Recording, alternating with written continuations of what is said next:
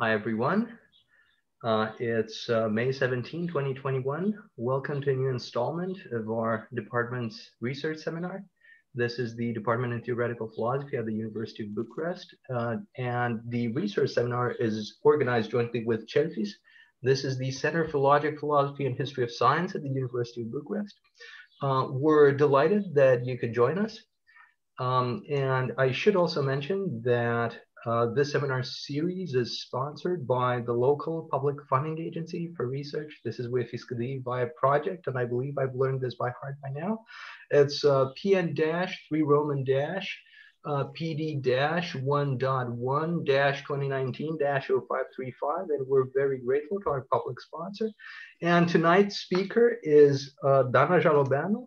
Uh, Dana is a fantastic member of our department, and we're delighted and grateful that she could join us. And her talk is titled Bubbles, Bladders, and the Folds of Matter on the interplay between experimentation and metaphysics in Baconian natural and experimental histories. Dana, thanks so much and take it away. Thank you, Andre. Thank you, everyone, for coming. Um, Andre, my apologies for not being enough present this semester. I'm paying now my debts. And in honor of the seminar, I kind of put together a first draft of a paper. Uh, so apologies to everyone. It's going to be long and boring, as I said, and as any first draft, it's going to be also messy. But it's a kind of research that I, it made me very enthusiastic over the past couple of weeks, I think, maybe even months. And it's also connected with a research project that I began this year, a research project that is supposed to investigate the the passage, let's say, from recipes to scientific experiments. Um, this paper is an investigation into a curious and characteristic feature of 17th century Baconian natural and experimental histories, namely the intricate interplay between theoretical, speculative layers and practical matters of fact, experimental investigations in contemporary terminology. And because we are at the uh, seminar in history and philosophy of science, somehow one can say that the questions that I'm going to address here regards things like theoretical engagements or metaphysical commitments. But um, no, I haven't started the slides. I will start the slides in a moment. I just wanted to make a bit of an introduction. As I will try to see to show in what follows, talking in this contemporary term terminology can be misleading. Baconian natural histories, as some of you well know, are complex and I would say insufficiently investigated structures, and it would be an oversimplification to divide them into layers under the model of contemporary philosophy of science.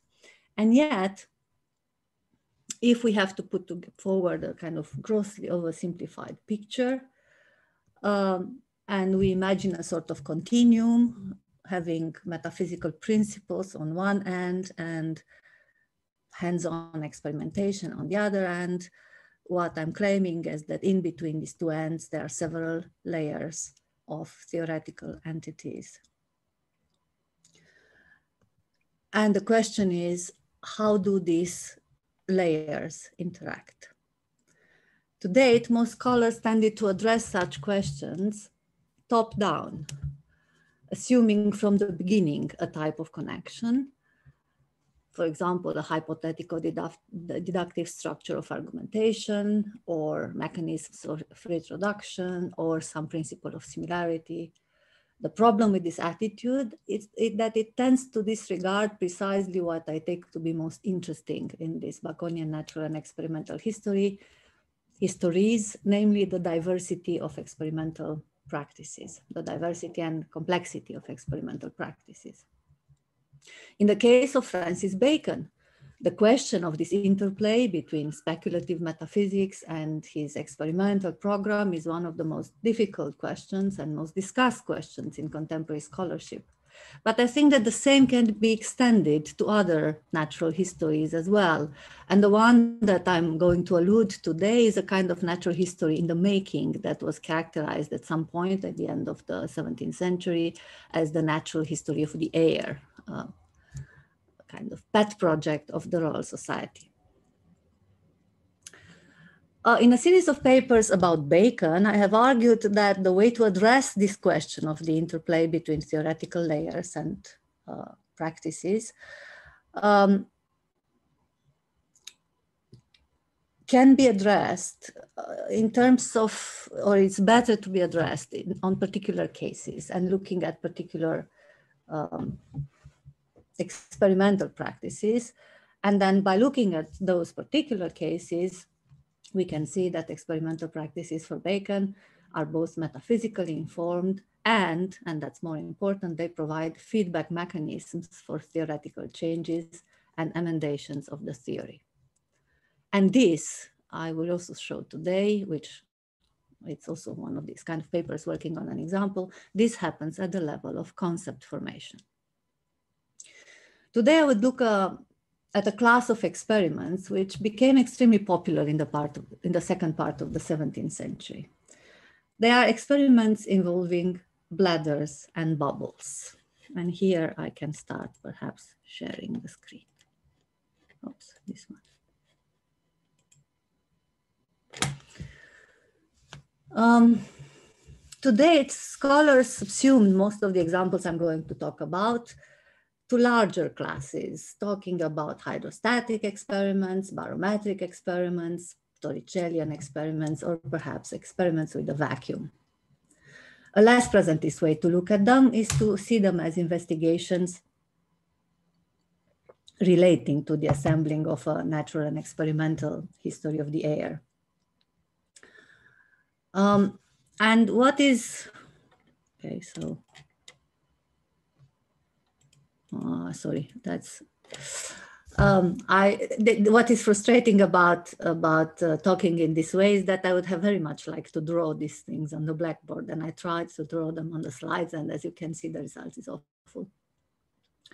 But the point is that the kinds of experiments I'm talking about can be done in the Torricellian tube, and here you have a very rude depiction of how you obtain the Torricellian tube.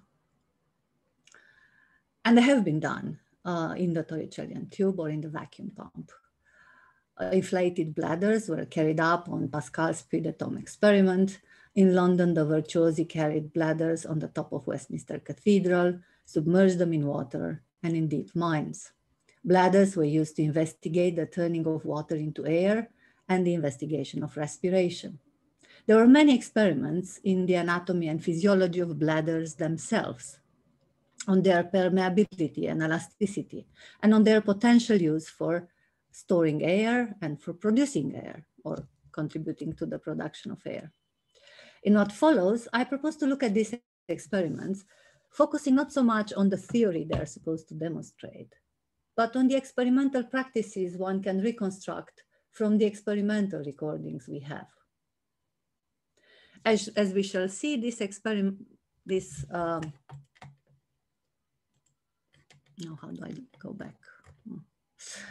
As we shall see, these experimental recordings are extremely diverse. They use different experimental setups and methodologies, so they often construct different phenomena and point to different results. And of course, propose diverging explanations. And to date, this diversity was often covered up by historians' presuppositions regarding the use and function of these experiments. I will show what we can gain if we attempt to uncover the details of experimenting with bladders and bubbles. Now, unlike the barometric tube or the vacuum pump, bladders are instrument non-familiar to our modern eye. So much so that one often needs help to imagine what these exper exper experiments actually do. But as we shall see, 17th century naturalists experienced similar problems when faced with these experiments. They had to figure out first what the recipe was talking about. Then they had to assemble materials for trying it out. And you know, getting enough bladders from pigs and goats and fish and other animals, it's not the same as getting a couple of, uh, I don't know, chemical paraphernalia or glass tubes. Um, And I try to understand them and then perhaps developing them further. Again, bladders and bubbles are non-standardized instruments, which allow substantial variation from one particular context to another. This is why instead of talking about replication and reproduction, I think it is useful to think when we discuss the experiments I'm going to discuss in terms of enactment. Similarly, with the case of enacting a recipe, in the case of these experiments, there is a wide latitude of choice um, displayed in, we will see in, in various ways of enactment. And I'm going to distinguish between something called imaginary enactment, which is very similar with what the historian is doing when trying to figure out what is happening in a particular experiment. And we are going to do a lot of imaginary enactment today. And the other way of enacting, I call performative enacting or enactment, and this involves an actual try, trial. Enactment is very context dependent, and I will show in what follows how varying the context and sources transformed these experiments throughout the 17th century. Bladder experiments are traveling from England to France, Holland, and from there back to England. We can find them in Francis Bacon, Phenomena Universi and Historia Densi et Rari and Silva Silvarum. But we can also find them in the writings of Pascal Mersenne and Roberval in the 1640s. In the writings of Boyles in the 1660s, but also in Hooke's and in the memo, in all sorts of correspondence and philosophical transactions and all the papers connected with the Royal Society in fact, my impression this week was that once one starts looking, then it looks like animal bladders are some of the most popular instruments of the 17th century experimentation. They are traveling very well, they adapt from one particular context to another, and they were able to accommodate many different meta theoretical and metaphysical explanations. Actually, people have wondered in the past how to explain the popularity of these experiments, even if we take them to mean, you know, the Torricellian experiments, experiments with air and void. Why were people doing this from 1640s when Torricelli invented the barometer all the way up to the 17th century? This is a serious challenge for those regarding bladder experiments as belonging to the prehistory of Boyle's law because you know, Boyle's law was kind of discovered in 1662. Why another 20 years of such experiments? A similar cha challenge faces those subsuming these experiments under the debates over vacuum. Puzzled, some scholars have argued that these experiments gradually lost some of their knowledge production function um, and became rhetorical devices in the attempt to display a novel public face of science. Others pointed out to their simplicity and adaptability to contexts, ending, extending from anatomical and physiological research to discussions of rarefaction and condensation, from the nature of air to that of the version or transmutation of air into water, or of water into air. The fact is that every each of these contexts, in every each of these contexts, these experiments display the rich and complex interplay I want to investigate. And I'm going to concentrate especially on rarefaction tonight. Um, so what is important to, to kind of have as a starting point and, and, and remember while I'm going to give you all sorts of details. Is that when we read about these experiments, we face rather vague and sometimes ambiguous and sometimes impossible recipes. Um, which means, as we shall see, that one has to do a lot of preliminary interpretative and practical work to figure out what one has to do in order to enact these experiments. And I will try to show in what follows that in this interpretative work, we can see a remarkable mobilization of resources, speculative as well as methodological. So I'm making three claims here tonight.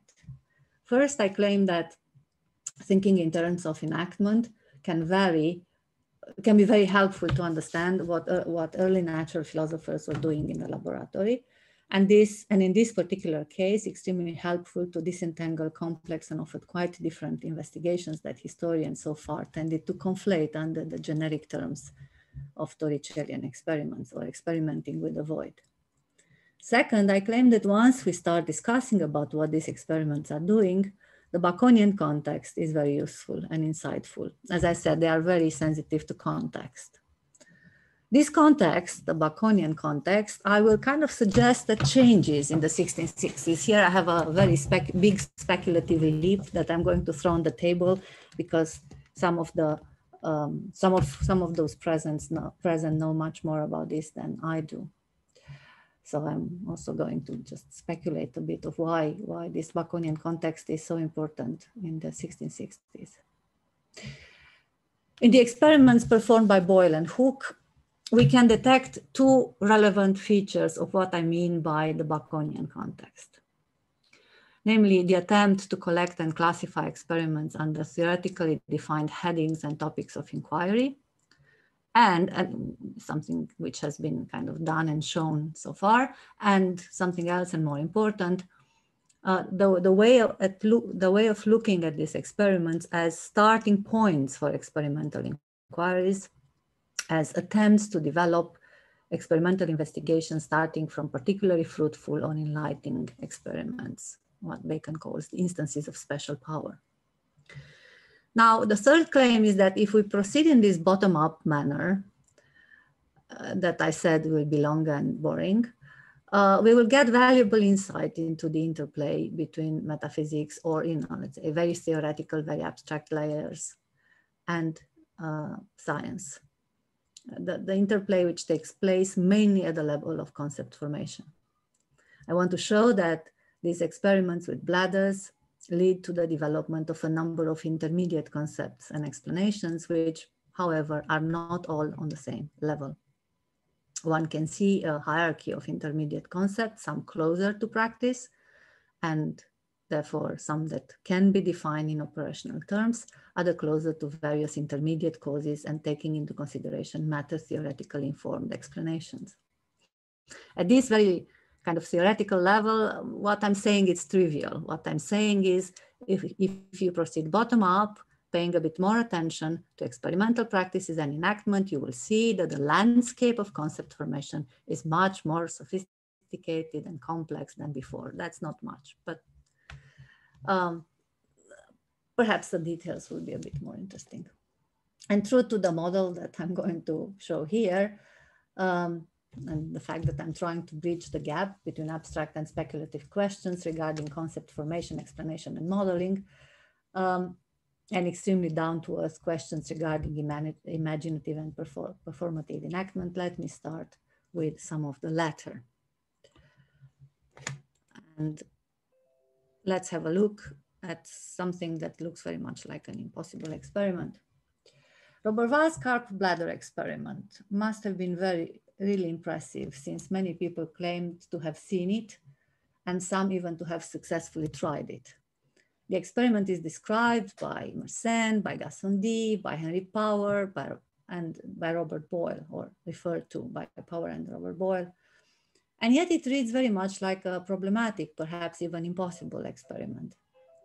Roberval claims that he has cut half uh, in half a fish swimming bladder that he has pressed the half to take out the air, that he has dried it, and then tied it with a string so that the minuscule quantity of air remaining inside cannot get out. Then he claims he inserted the deflated bladder in a tube in which he poured liquid mercury. Then he reversed the tube, creating thus a Torricellian barometer. Um, and he claims that what happens is that as the mercury descends in the Torricellian tube, the fish bladder, which remains hanged here on the upper part of the tube, inflates. The little remaining air expands dramatically inside of the Torricellian void. The way in which this experiment is usually presented in the secondary literature is this. Roberval illustrates in it what happens in the Torricellian void The air in the bladder, freed from the pressure of the external air, expands forcefully. The reader can admire, and that's somehow of the uh, the 17th century readers are admiring uh, the beautiful experiment and the surprising fact that look, the air has an inner power of rarefaction and that this power of rarefaction acts equally in all directions. Hence, the bladder is round, well, almost round. But is this experiment at all possible? What happens if we pour an almost one meter long column of mercury over a dry fish bladder containing a bit of air? The first surmise, and here I'm talking purely about imaginative experiments. I haven't tried, I would like to, but I'm just kind of imagining and I would like you to imagine along with me. So first hypothesis is that the bladder bursts and a bubble of air is released in the Torricellian space. Another possibility, since apparently the bladder is dried, is that it's not impermeable to begin with and hence it doesn't burst but doesn't contain any air, therefore it doesn't inflate. Or even if it does inflate, it doesn't inflate like here. And in any case, it doesn't become round because it wasn't round to begin with. It's very elongated. Now, it would help to look at Robert Roberval's actual text because it has a number of peculiarities. First, the tube is not the standard Torricellian tube. That would be the standard Torricellian tube. Um,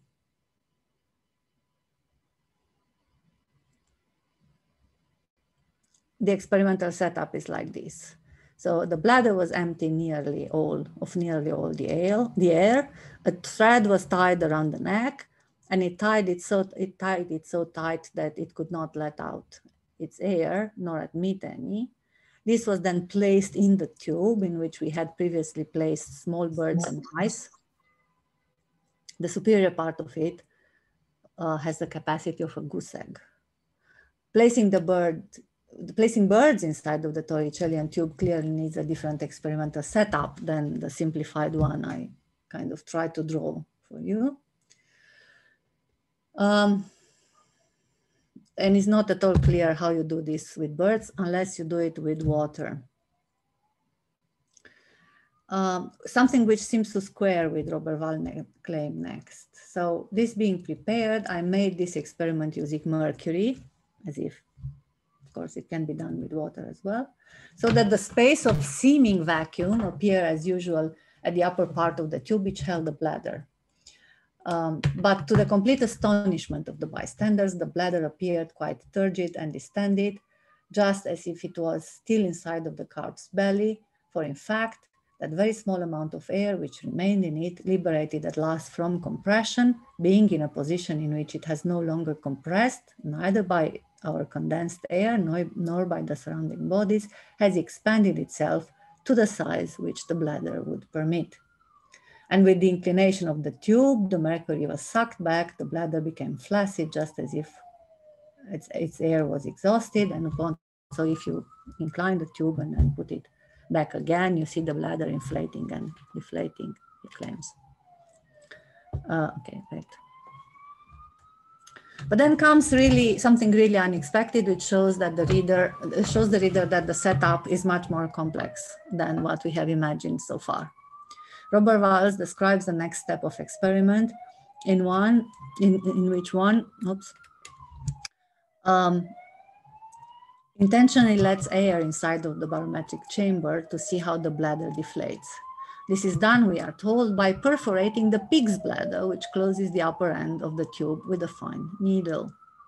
So in Roberval experiment, we have not one, but two bladders. A pork or goat bladder seals the upper part of the tube, tube and a fish bladder inflates, infla, inflates inside of the tube. As I've said, when we try to figure out what happens in an experiment, the context is important. And Robert Roberval presents this experiment after another, much more easy to imagine and extremely familiar to everyone who ever experimented with inverted tubes, the experiment with the bubbles of air. If in inverting the tube, a bubble of air is let inside the Torricellian chamber, the mercury is pushed down. In fact, this probably happens nine out of 10 trials. And we will see in what follows that, for example, Robert Boyle claims it happens every time when you do the experiment if one merely pours mercury into the tube, as we are told we should do. You have to do all sorts of tricks so that you don't get bubbles at the end. Bubbles are ascending to the mercury and they enter into the barometric cham chamber. However, Roberval exploits this common failure and turns it into an interesting experiment. He introduces in the barometric chamber equal volumes of air and water. And he observes that in the tube, in the tube that contains both air and water above the mercury, the level of mercury is higher. Sorry, yes, the level of mercury is higher. I might even have a drawing.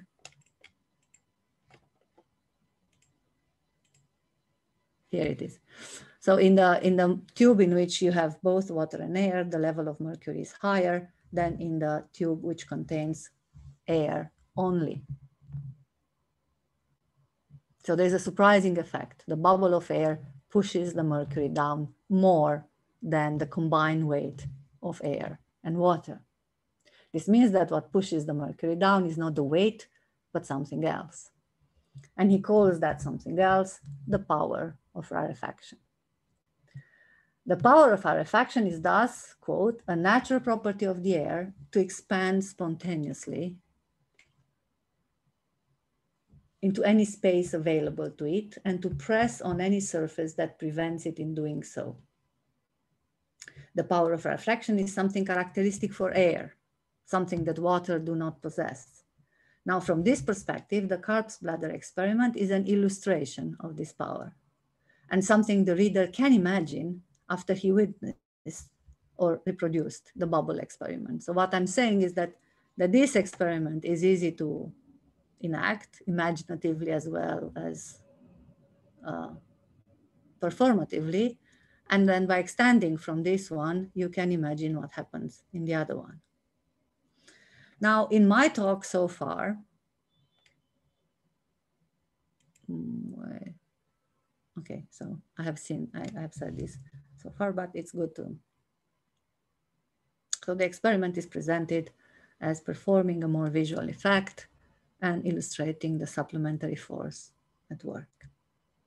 Now, so far I have used Roberval text, but the drawings are coming from a different source, the account of someone who claims to have witnessed the experiment in person. Jean Pecquet, Experimenta Nova Anatomica, Paris 1651, was translated into English in 1653 and became one of the main sources of such experiments in England. As Charles Webster has shown a long time ago, it was, it was through Pecquet that knowledge of Roberval's experiments was diffusing among the virtuosi, uh, such as Henry Power or Robert Boyle.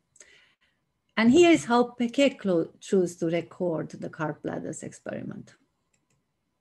First of all, he changes the order of experiments and begins with the carp bladder experiment and not with the bubble experiment. He claims from the title that the experiment shows or displays the rarefactive elatory of the air, elatory being his name for the power of rarefaction. Then he gives a slightly modified account of the experimental setup. I suggest to read this in the key of the imaginary enactment. He claims that the tube is open on both ends And this is the drawing that Pecquet has. So the tube is to begin open on both ends.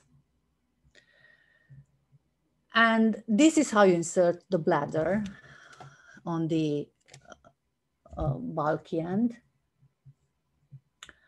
And then seal it with the straight bound thread here in B. And then add on the top a pork bladder which supposed to, supposedly seals uh, the bladder further. And he goes out of his way to say that pork bladders stop the best passage of the quicksilver. Then one fills the tube to the brim with quicksilver and then inverts it into the glass. Now one wonders why does this ending has to be soft and made of threads and pork bladders as opposed to hard made of glass? Is the solution of combina combining thick thread and pork bladder, presumably both elastic, a solution that prevents crushing the fish bladder? I have no idea again, but one can perhaps imagine that this is the case and that they are introduced in the experiment precisely for this purpose. In any case, Pecquet describes the effect in a language different from Roberval. And the language is interesting. A wonderful sight appeared to beholders, to the beholders. The calf's little bladder, which the straightness of the narrow neck kept up in the higher bottle, did of his own accord swell again. Indeed, I had been amazed, except my mind had cured the errors of mine eyes, at the swelling fullness of that sudden meteor in point C. You saw that. Oops. Yeah, in point C here. That's that's the sudden meteor in the middle, as they say, of vacuity. But the residue of air within the secret passages of the withered, indeed, but not altogether exhausted bladder, thought there was a spontaneously spontaneous elatery in the air, whilst free and not compressed by the weight of anything lying above it. Okay, so first he claims that the bladder swells again of its own accord. Then he describes it as a meteor, namely a property of atmospheric air and insists on its roundness. He also claims that the meteor floats, as it were, in the middle of the barometric chamber. This floating business, I'm not going to show you, but I have found it in, in Henry Power, for example, which eliminates the thread and claims that, that the inflated bladder floats on the surface of Mercury. Um, moreover, Pecquet seems to indicate that one can observe two effects here the swelling of the bladder and the pushing down of the mercury. It clearly appears that the air, which after writing lay fast in the most inward places of the bladder, did dilate the skin thereof by its incited elatery in the falling down of the quicksilver. Likewise, it appears that the air which was pressed to the inward superficies of the vial by the metallic weight, as did stay enclosed in the outwards folds of the vesicle, was, in, was enough by the virtue of the same elatery to fill now the whole vial. In Pecquet's imaginative enactment, this experiment is neither an experiment about the atmospheric pressure nor one about the void. He clearly assumes that the air has weight, is agnostic about the void, but the experiment does something different. It shows that air has this inner power of rarefaction he calls it elatery. This is a special property of the air, a property that water and mercury do not have. Hence the reference to a meteor. Presumably one can witness something similar in the terrestrial atmosphere if uh, and when the upper strata of the atmosphere are rarefied. In addition, the experiment shows that unlike gravity or weight, this power of rarefaction is isotropic, acts in all directions. As Chalmers has pointed out, the power of rarefaction and elatry are these sort of technical intermediate concepts introduced to describe uh, an intermediate causal uh, explanation uh, introduced in the uh, description of the air and the property of the air to resist pressure. They mark the moment when hydrostatic explanations, which so far were based on weight only, um, now are replaced or branched off into pneumatic explanations in which forces at play are both weight and elasticity. Um,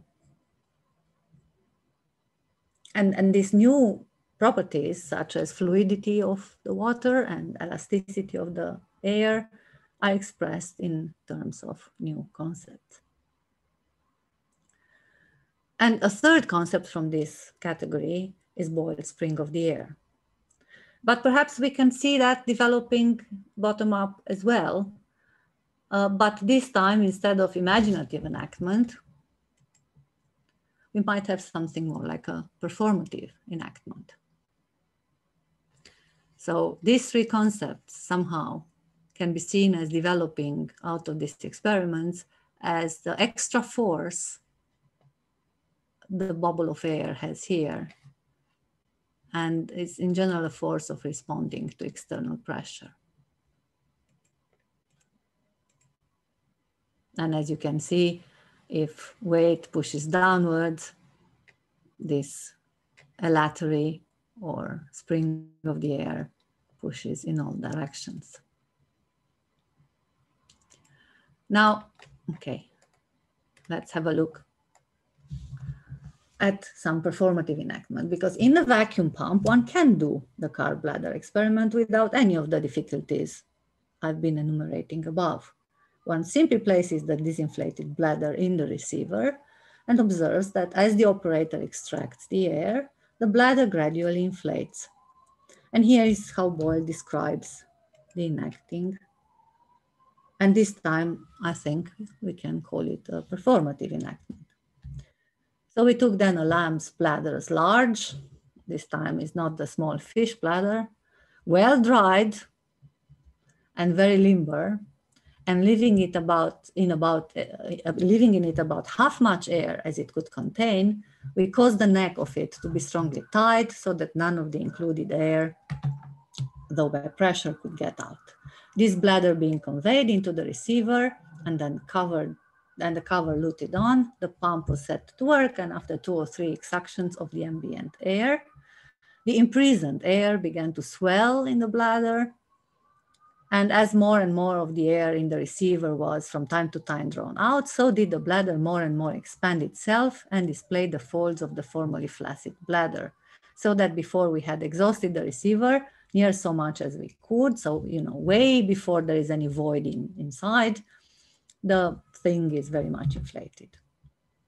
And uh, there are many such experiments in Boyle's new experiment in Boyle's new experiments on the spring of the air and subsequent works. Now, note first that Boyle simplifies and clarifies the details, drawing the reader's attention to the balance of forces. As the air is driven out, its spring decreases, the air in the vacuum pump, and the stronger spring of the air remaining in the bladder prevails.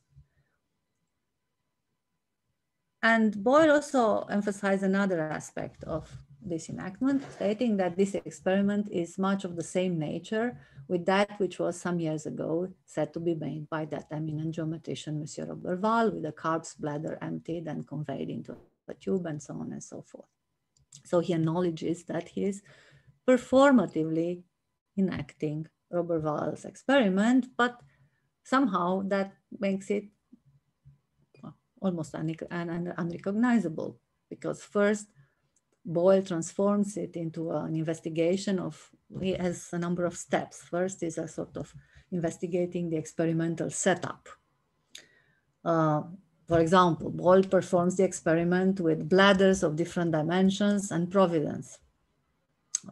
Fish bladders, goat bladders, pork bladders and so on. Some dry, some fresh, some dipped in water. In some cases, he describes experiments in which three different bladders are put inside of the receiver of different dimensions. He varies the conditions. One experiment suggests, for example, that out of the three different bladders, one is pierced and hence is completely flask to begin with, and the other is loosely tied and it, at, it, at its neck, and hence it's permeable in order to see whether inflation is only due to the expansion of the enclosed air or whether some of it at last is due to the elasticity of the bladder itself. Again, we have the elasticity or spring of the air, but bladder is an elastic material. Why shouldn't that inflate or whatever, stretch or whatever of its own accord? A set of experiments deal with what looks like the main difficulty of the experiment, the fact that most bladder, bladders burst. And again, we see a failed experiment turn into a relevant feature of the phenomenon, because the conclusion is that all bladder burst well before there is any void in the receiver. So just a little depression of the receiver immediately provokes the bladders to inflate. In this manner and through experimental investigations, Boyle completely changes the meaning of the bladder experiment. Eliminating vacuum from the picture is not interesting anymore. We don't have to bother about it. It is not because of vacuum that bladder inflates. The bladder inflates as soon as there is a difference between the spring of the air enclosed in the pump and the spring of the air enclosed in the bladder. In fact, as he clearly shows, bladder experiments are not good instruments to deal with the question of vacuum. One needs stronger glass devices or something else. And yet, bladders do not get abandoned as instruments. And one can find them and one can find them in use well into the last decades of the 18th eh, or the 17th century.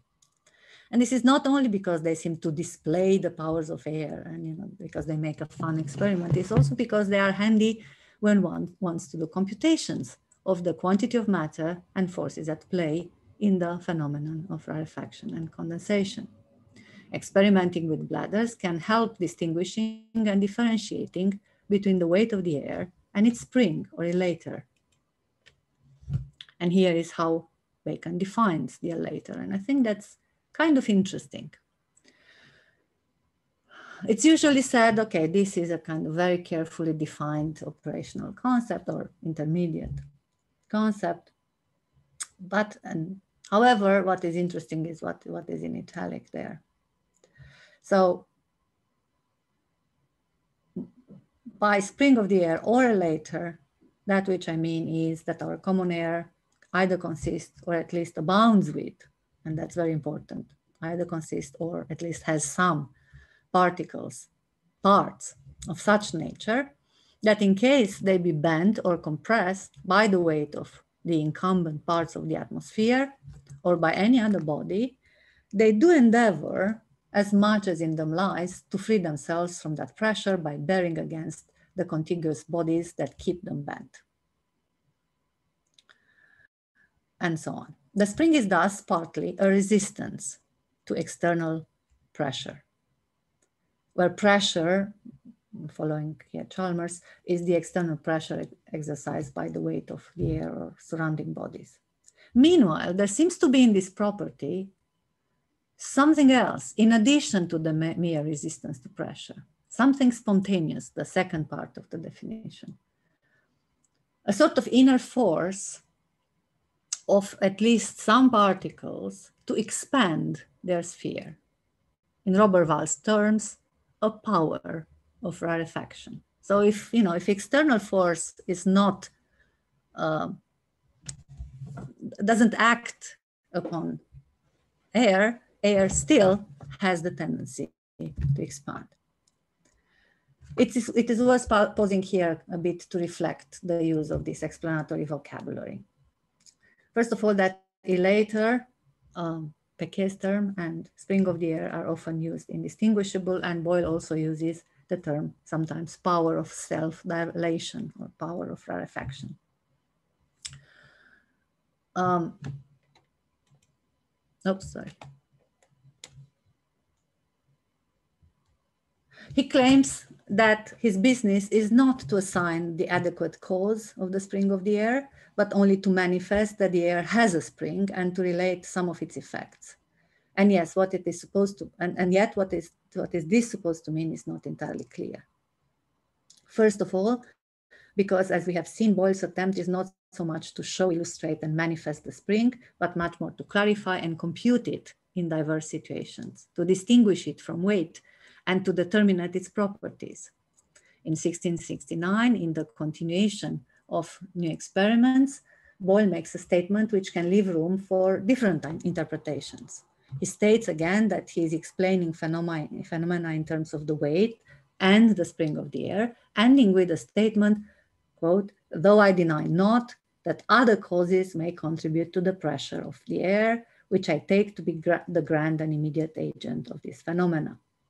I suggest that there are two elements in discussion regarding in the discussion regarding the spring of the air, which need supplementary uh, clarification. One is its apparent spontaneity, which seems to point towards a non-mechanical aspect of elasticity, namely not reducible to particles in motion.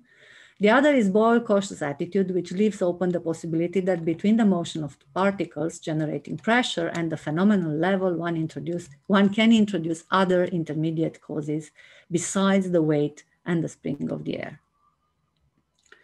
As it is well known, Boyle ultimately conceptualized his phenomena in terms of mixtures of particles. He often lists hypotheses regarding the nature of springy particles, but he clearly emphasizes the provisional role of such meta-theoretical descriptions, often formulated in metaphorical terms. Springy particles are perhaps like as many minuscule springs of a watch, as Hooke wants to say. They can be long elastic threads, like threads of the wool, or something like wood shavings, curly particles that can unfold if liberated from the external pressure.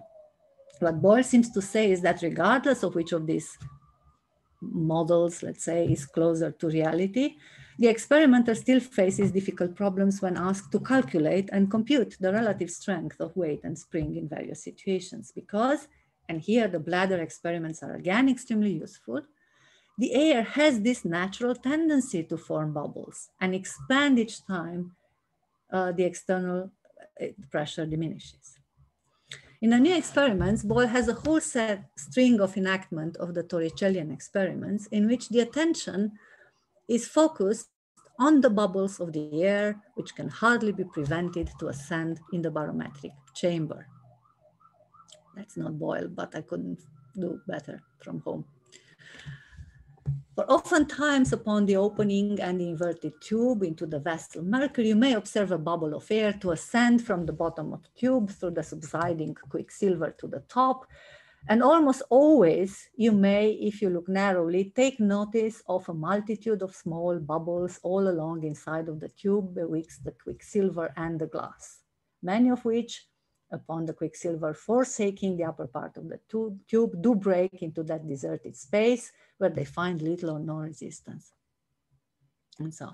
I suggest that we have here another intermediate explanation of the spring elatery or the power of expansion. And this is the explanation of the bubbly or frothy liquid. Boyle seems to believe that tangible matter, water, or even mercury is a mixture which contains bubbles of air entrapped into it. When heated, for example, these bubbles attempt to expand and escape. As in the following experiment my, made by an eminent mathematician, possibly John Wallis, the editor says, and reported by Boyle in the same new experiments.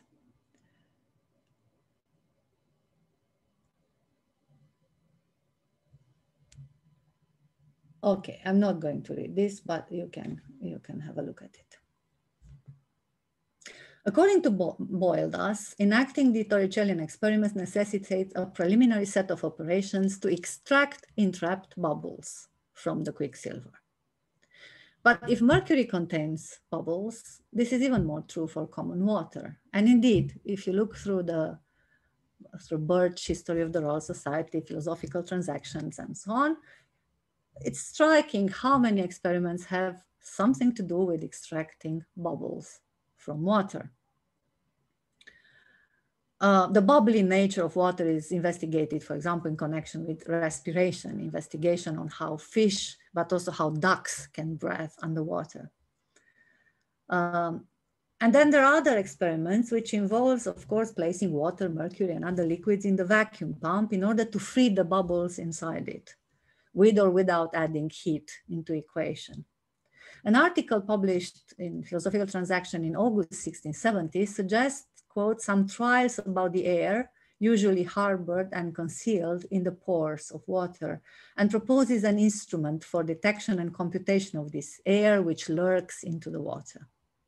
The instrument consists of a globe of glass filled with water and a long pipe with a slender middle section, and two larger sections in the upper and the lower end.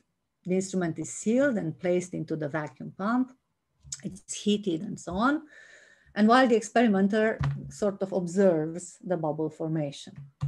The idea seems to be to provide a kind of less breakable alternative to the bladder, to the very common device in which you have a glass of water and then you place a um, bladder on the top of it, and then the water evaporates and the, the bladder inflates. And uh, what is interesting is that in this experiment uh, recorded by the philosophical transaction, uh, there are proposed numerous trials, not only with water, but also with wine, spirit of wine, oil, and so on. So what all these experiments seem to suggest is that Boyle works with another intermediate level of or hypothesis or concept here, that of a bubbly or frothy liquid, assuming somehow that liquids are a mixture and they naturally contain bubbles extremely small, perhaps unobservable quantities of air, which upon the reduction of external pressure are released. Boyle describes the ascension of such bubbles and how uh, they grow as they approach the surface and how they become larger and larger just beneath the surface. And then when they get into the air, um, they also push the whole water down. All this is consonant with other Royal Society experiments to which, if I have time, I will come back later. In any case, all these experiments look very different from what simpler cases of hydrostatic and pneumatics that we have seen so far. They seem to assume some non-additional mechanical layers in the explanation of the spring. And they also assume that liquids and perhaps even solids incorporate air or spirits under the form of bubbles. Now, of course, let me propose here a different context, and this is the Baconian context because the, some of you are already waiting for Bacon to turn up if so many bubbles and spirits are involved. And I think that there is a turning point in the story, which again, here, here I'm becoming speculative, and this is the publication, nah, the publication in 1658 of the Historia Naturalis and Experimentalis, published in London under the supervision of William Rawley in the printing shop of Roger Daniel. And this is an interesting timing because William Rawley has published a lot of Bacon's works in 1627, well, starting in 1623 and then 1627 and 1629 and then 1638 and then nothing for 20 years. And then suddenly this comes on the market. And this is Bacon's most theoretically informed natural history.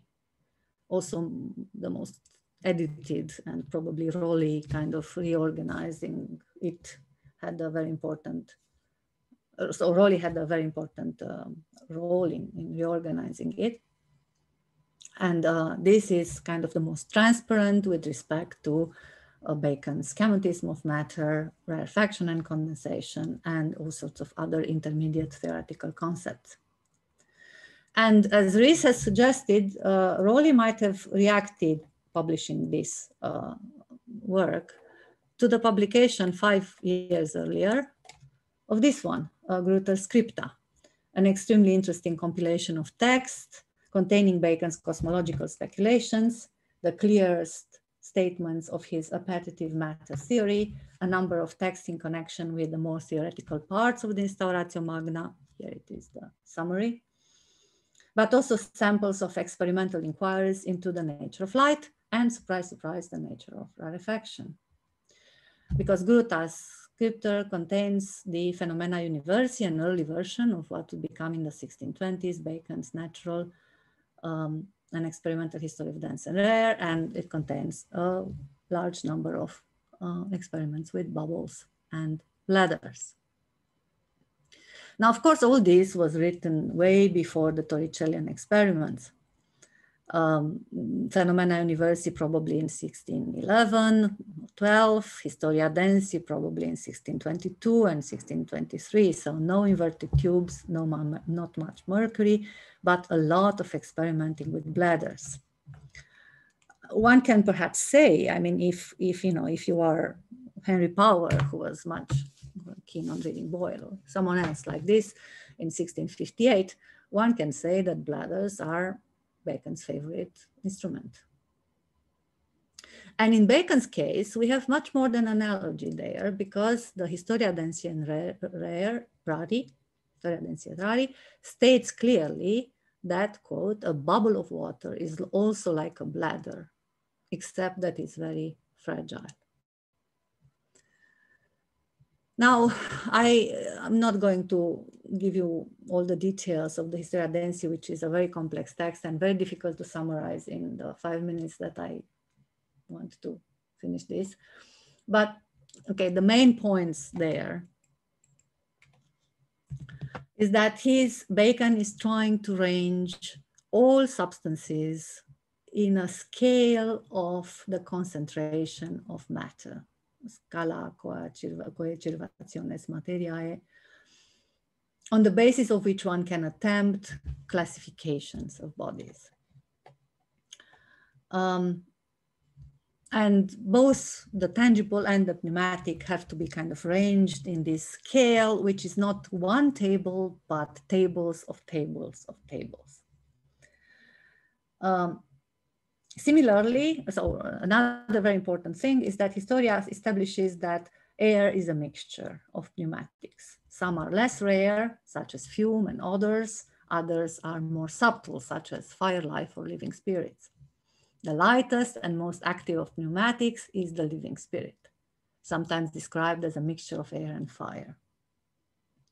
And the experiments and tables in Historia Densi display this rich interplay of metaphysics and experimentation, perhaps even richer than what we have seen so far in the experimentation. There is a general metaphysical principle at work, the principle of the constancy of matter. The sum of matter in the universe is constant and no annihilation is possible. Every transformation and every process are mere modifications of configurations. Tangible matter becomes pneumatic and pneumatic matter gets rarefied and so on. And another important principle at work is that tangible matter contains pneumatics, bound or trapped inside of every tangible body. And the spirits or pneumatics are light and active. But the most important thing is that the spirits are trapped in matter and they are very similar with the bubble model we have seen so far. And this is even theorized because then it's theorized in the concept of, of uh, folds of matter. So Bacon rejects atomism. That's already obvious in the 1620s in the Novum Organum. He rejects hard atoms moving in vacuum, and he argues for a sort of pliable notion of matter, materiam fluxam. To it, he opposes a dynamic to, to atomism, he's opposing this kind of dynamic conception of matter, whose primordial building blocks are what he calls the simple motions. So instead of being aggregates of particles, bodies are relatively stable configurations of motions. But this relative stability is in permanent jeopardy from internal and external forces. From outside, bodies are constantly hit by streams of rays, heat, cold movements of the air, wind, influence, influences of other bodies. These external influences are often producing what Bacon calls the opening of bodies, namely the rarefaction.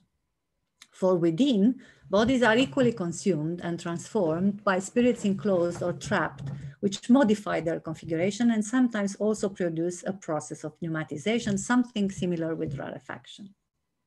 How is this done? Well, this is done by the, in a sort of bubbly model by using kind of metaphysical concept brought to the level of intermediate explanations. And this is the concept of plica materiae or folds of matter. Bacon is saying there obviously exists a fold of matter with which within certain limits coils and uncoils itself in space without vacuum interposing itself. So every time something is happening and a process begins inside or from outside, instead of having particles moving in a rarefied space, Bacon sees this frothy, bubbly model.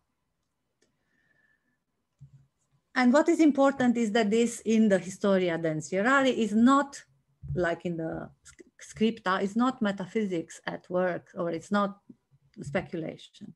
This is all part of or put in the service of experimental investigations. Scales of abundance and scarcity of matter allow the experimenter to reconfigure properties and definitions of a particular body according to its position in the tables and its relative position with respect to other bodies. In fact, what, the body, what is a body for Bacon is slightly different than what counts as a body for Boyle and Hooke. But this is not because of his internal composition is not because it's made of atoms or particles or anything, but because for Bacon, each and every body is in a state of permanent transformation. So if we want to place a substance on the scale of densities or rare substances, we have to ascribe to it not a point, but an interval. Say water or wine occupy a certain interval on the table of densities, lower than lower higher than mercury, lower than the spirits if the table is vertical. In fact, in order to decide where to place a particular sample on this scale, it is not enough to determine by one single measure its density. Boy wants to add to the table numerical values corresponding to the opening of that particular sample because any sample is subject to these openings. It becomes more rarefied or uh, more concocted, or you know, it's, it's in a process of change. Attempts to open and distill, for example, produce often unexpected result. And uh, because most bodies are mixtures and contain these bubbles of spirit, their various opened and distilled states will place them upper or lower on the scale, on the scale of concentration of matter. So this is a whole science there of uh, classifying the bubbly matter uh, according to density. And a lot of interesting things are happening there. I'm not going to enter into details, but we can discuss.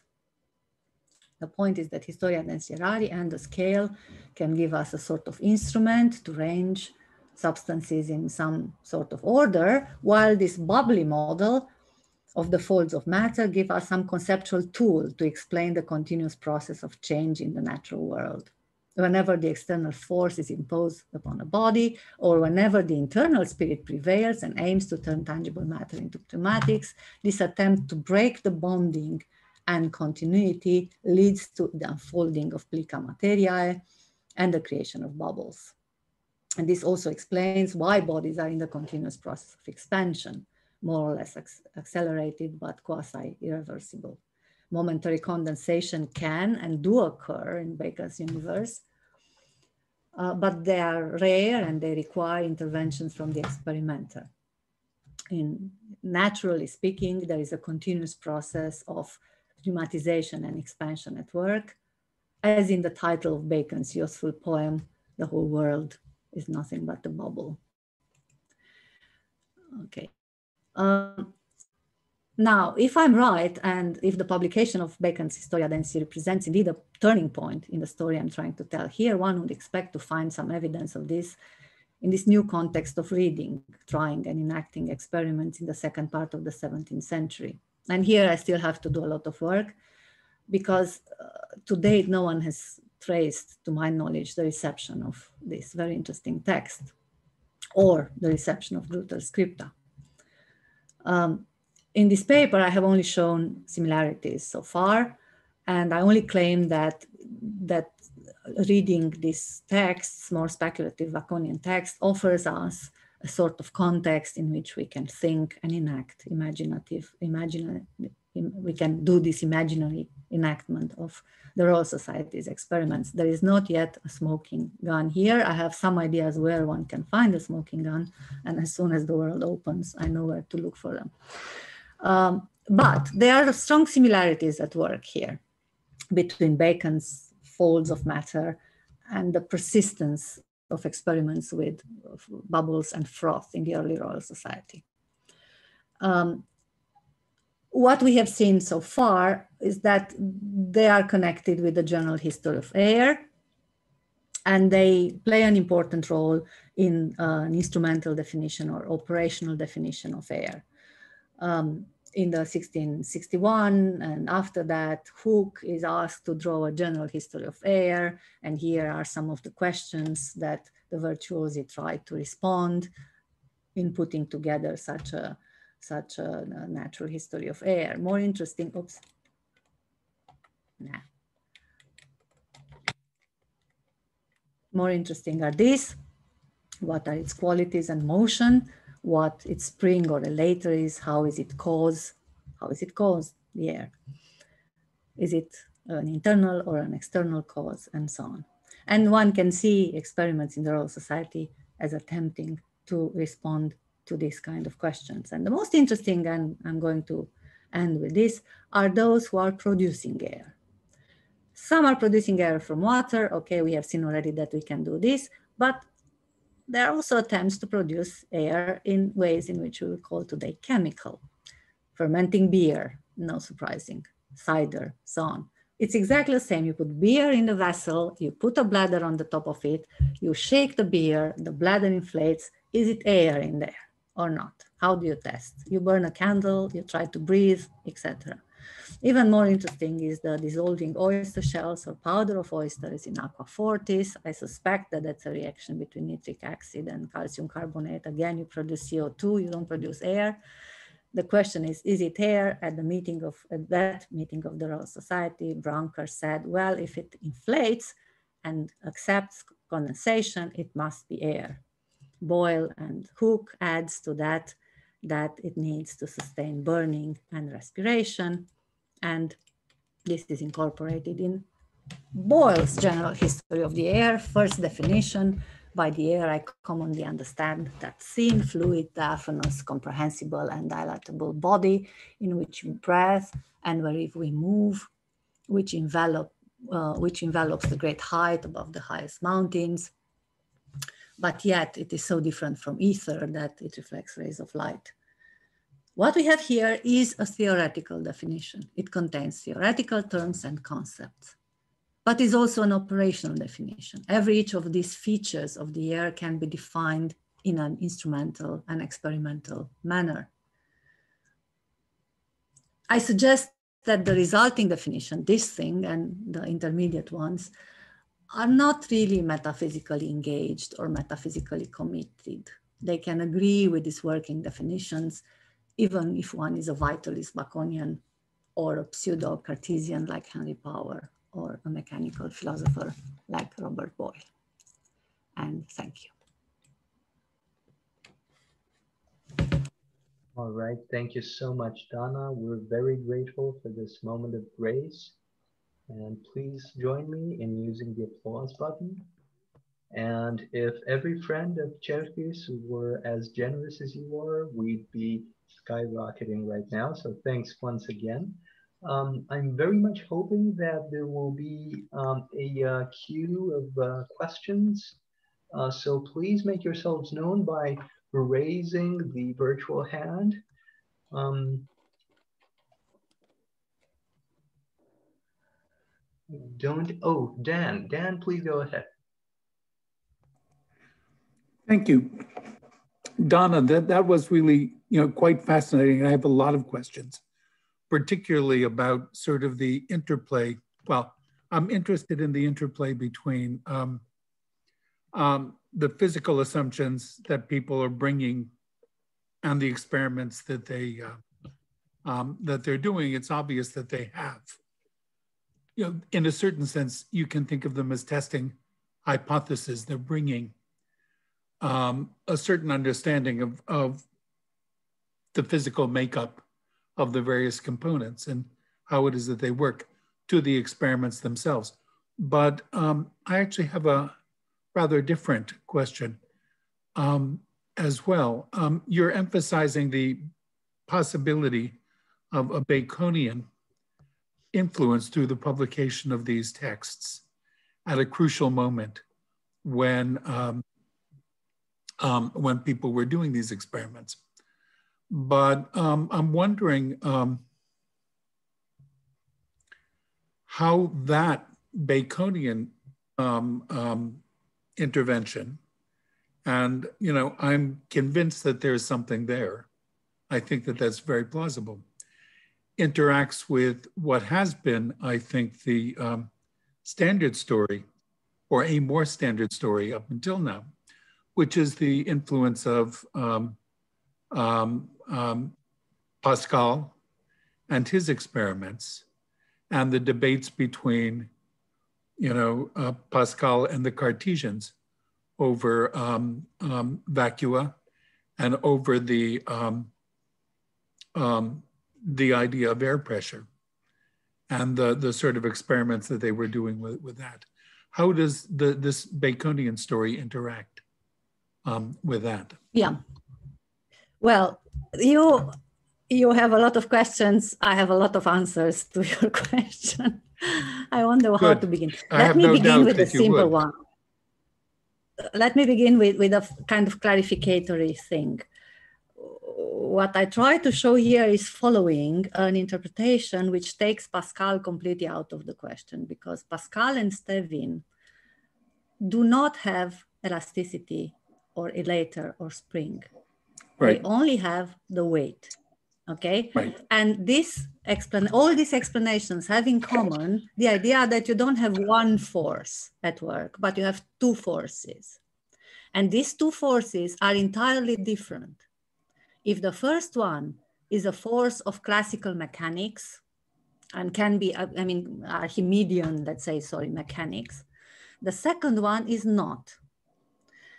And the second force, this elasticity or elater or spring or whatever, uh, power of rarefaction, doesn't act in the same direction as the gravity, okay? The weight acts downwards. This acts like this in all directions. Yeah. So how do these two kind of, how do you compute them? So my point is that Boyle's spring of the air is not an answer to anything. It's reformulating the question into a research program that is very far away to the end of, of it, which has this problem. How do you compute two forces which are seems to be contradictory because somehow pressure acts from outside and this is a kind of elater. They don't have, you cannot just compute them simply, they don't have the same direction. Um, and uh, in addition to that, uh, uh, I wanted to say something and, and it, it went away. there is something else to this. Yeah, okay, so people are saying good. Uh, so what happens when Boyle is kind of discovering the Boyle's law? He's bracketing the interesting question because what Boyle does is to put the tube horizontally. So Boyle's law gets into the picture when Hooke's has this great idea to eliminate completely the weight from the picture by placing the tube horizontally. And then you don't have a problem of the weight of the air anymore. Then you have the elater, volume, and pressure. And you think that, that, that comes from the plica materiae? No, that doesn't. I'm not, I haven't talked about this, and this is not part of my story yet. This is 1662.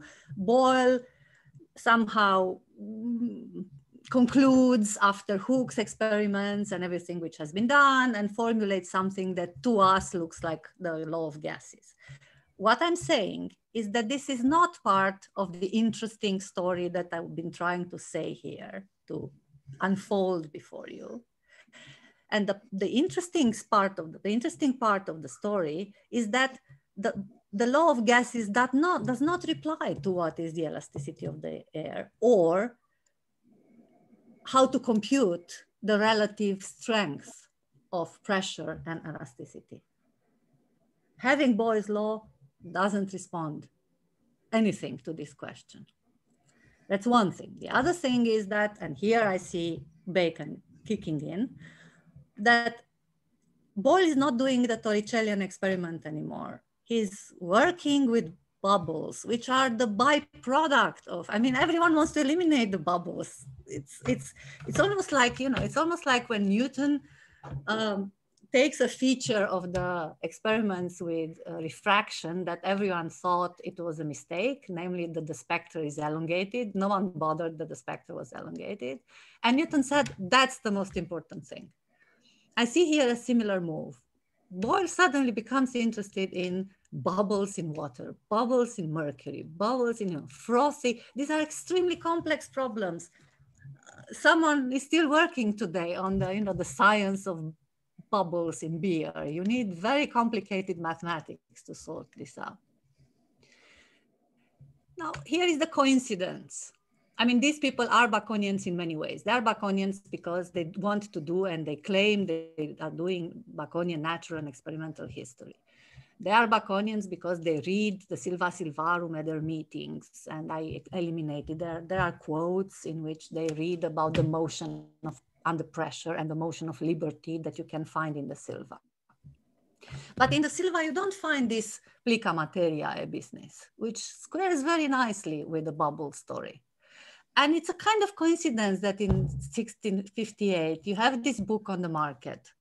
And then in 1658, you have Henry Power working with Towneley on precisely these matters. And then you have Boyle working on this one year after. And then everyone is interested in this. And then the production of air kicks in it looks like there is a there is a there is another addition to the Baconianism, which is a bit the more speculative Baconianism. Mm. So, if I have to claim the Baconian context plays in three different levels. One is the well-known natural historical level, one is the methodological level, and here you have the more metaphysical level, namely that kind of Baconianism that everyone claims doesn't exist for the Royal Society. Just one brief comment that the Plica Materiae, which is in the Silva, is also in the um, Novum Organum, which is what your quotation was from. Um, yeah. Why did it? Why yes. why wasn't it noticed before? Why why what I'm, was? I'm sure it was the 1658 uh, publication. I'm sure it was, but it wasn't, it, it's not that clear what is its business in the Novum Organum. In the Novum Organum, that quote appears in yeah. the motion of connection, in the list of simple yep. motions. And it's not illustrated by anything. I mean, this is a metaphysical concept. Bacon, Marta Fattori claims that Bacon takes it from Telesio. I'm sure there is a long story about where does Bacon take it from. But like with the concoction that he takes from Aristotle and completely change its meaning, the plica materiae in the Historia Ardensi et Rari, it's one of the provisional hypotheses at the end. It's one of the canones mobiles.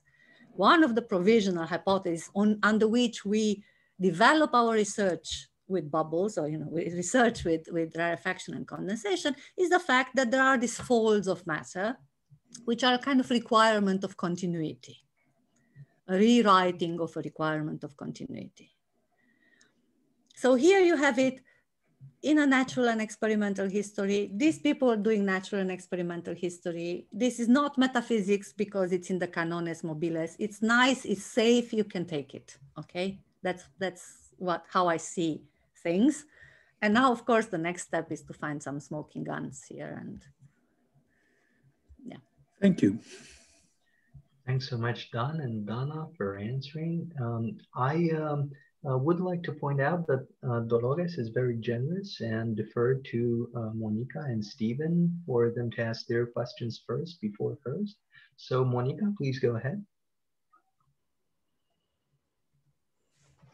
Thank you so much, Dana. I, I really enjoyed your talk. Um, and I'm sorry, I don't have any, I don't have like really like hard questions or something. I just would like to say the sort of things that I liked and the things that I found interesting. So one thing was um, when you imagine or when one tries to imagine what's going on in those in any kind of description of the experiment, right? Um, you have to fill in some gaps. And I think that's where you know like the interpretation comes in like you know as a historian of science you, you start to fill in and think okay why is the bladder mentioned here? The pig bladder is mentioned here, and we don't know exactly what is its role, right? Um, but I think in each of these cases, because I do not have the whole, like the entire text in front of my eyes, I do wonder whether maybe there was something coming before that description, right? It's like people are saying, oh, and this thing is supposed to be showing this, or like they mentioned someone else doing the same experiment that kind of gives you some insight in what they took the experiment to be, right? Because there's one thing to for me to just zoom in on this passage and ignore what comes before and after, right? So I do not know the context for those um, for those sort of experiments. So that's that's one thing. Um, but I do think this is something that comes really nicely to the fore. And I personally don't know if I would like to focus so much on the, I mean, it's obviously Bacon has to play in the picture, but it's really interesting the way you brought in the fact that something that looks like a secondary aspect of the description, right? Those like the bubbles and how they show up, how they become important.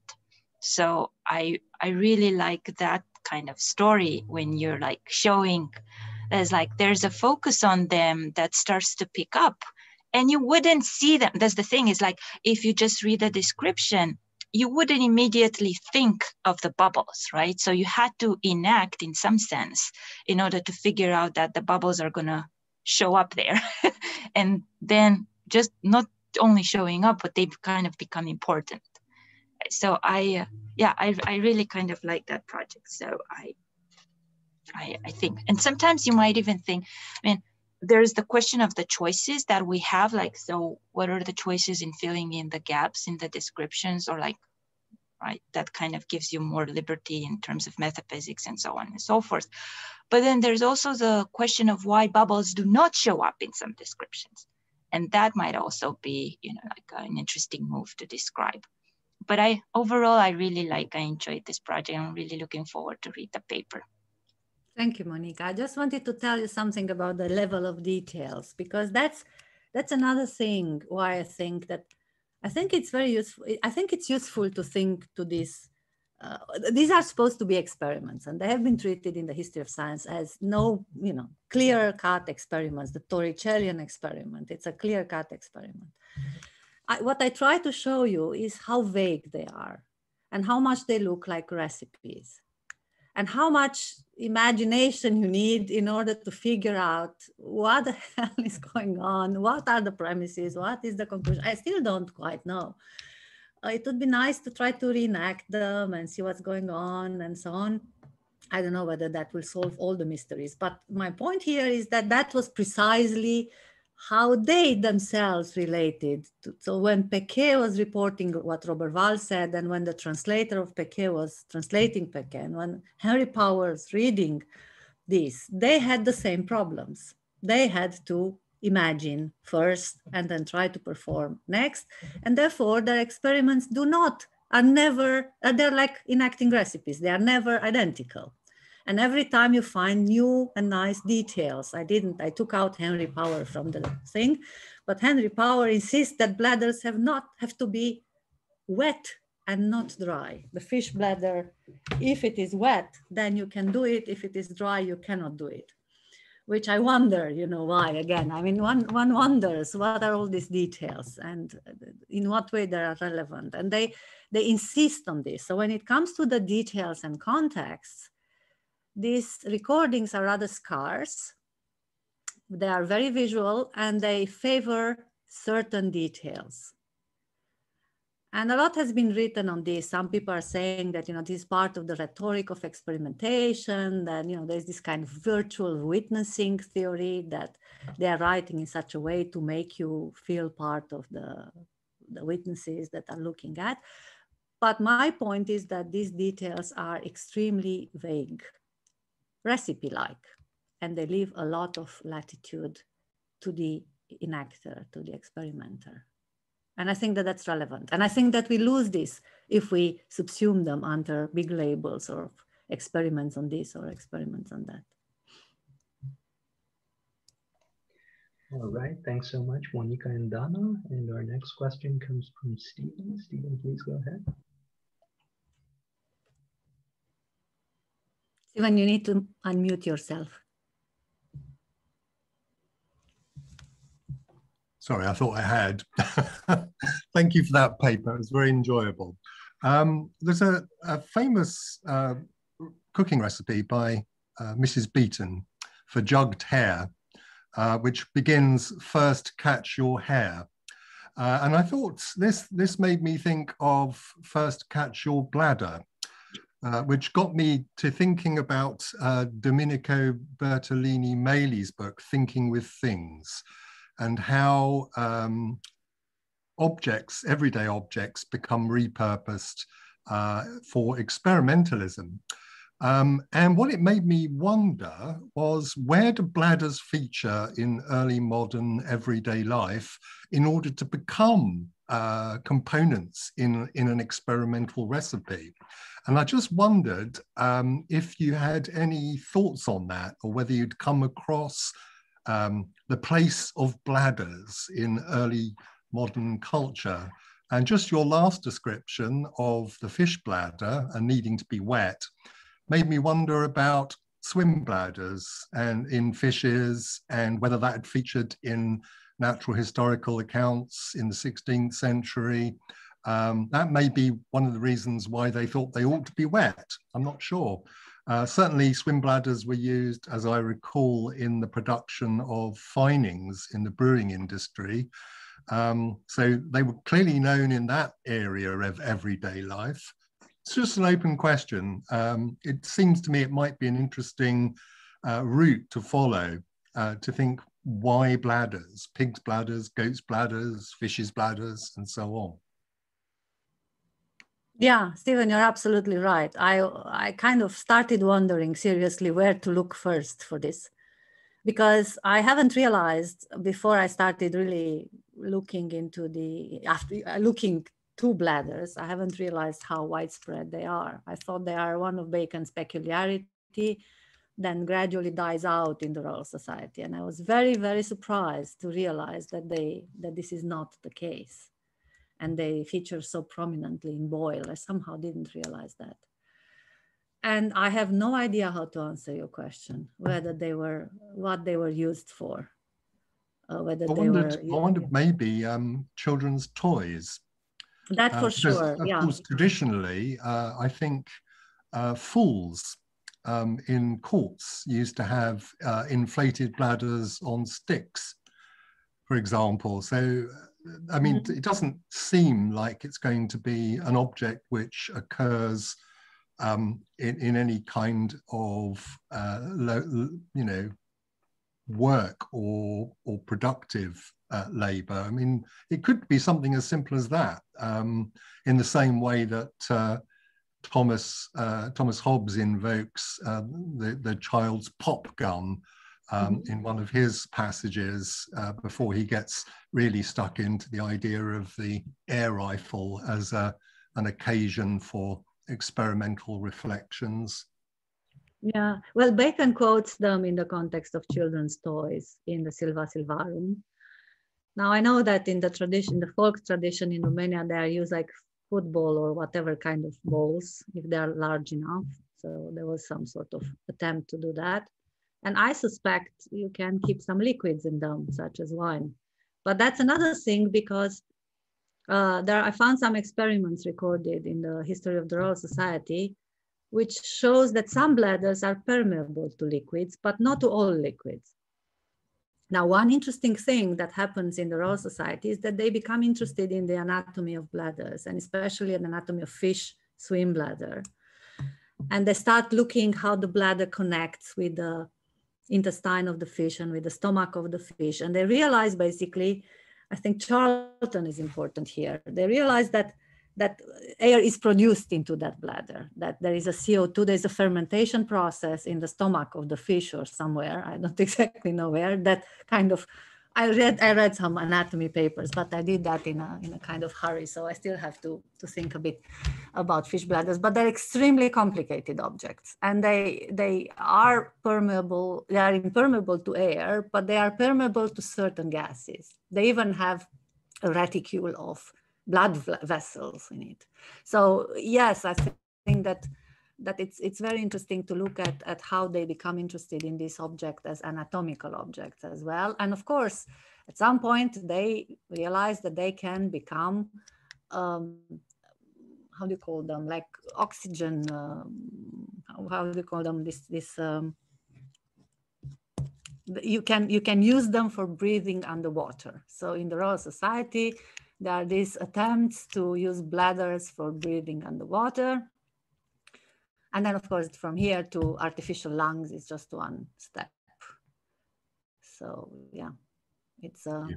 but but but I, I take your point that one needs more to know one needs to need to know more about 16th century mm, i don't know uh, trades and because where would I, that that was one question that I was thinking in connection with Bacon. I mean, he one needs a large supply of bladders, um, and you just go to the butcher to get the bladder, or you know, is there any supply of bladders in London in 1600? I don't know.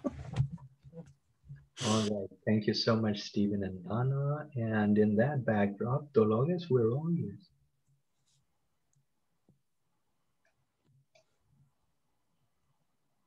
Dolores, I'm not. we are not hearing you. You need to turn on the microphone. How about now? Is that good? Yeah. Yes. Okay. So, um, as usual, I have a complicated question. So, um, um, so by my by my count, the first instance of the idea about um, ladders uh, comes in um, New Organon um, uh, 40. Is that right? book 240 um, I have um, no idea. Anyway, um, so it's it's um, it's a it's uh, one of the prerogative instances, a, a summoning instance, and so if you um, if you cross reference um, um, Bacon's ideas of of bladders with his ideas of bubbles, um, I would not be. You know, you said that you know this is what you're doing is from the ground up. Um, so you really don't want to have to confuse your mind at this point with um, squaring whatever you're going to find with cosmological arguments.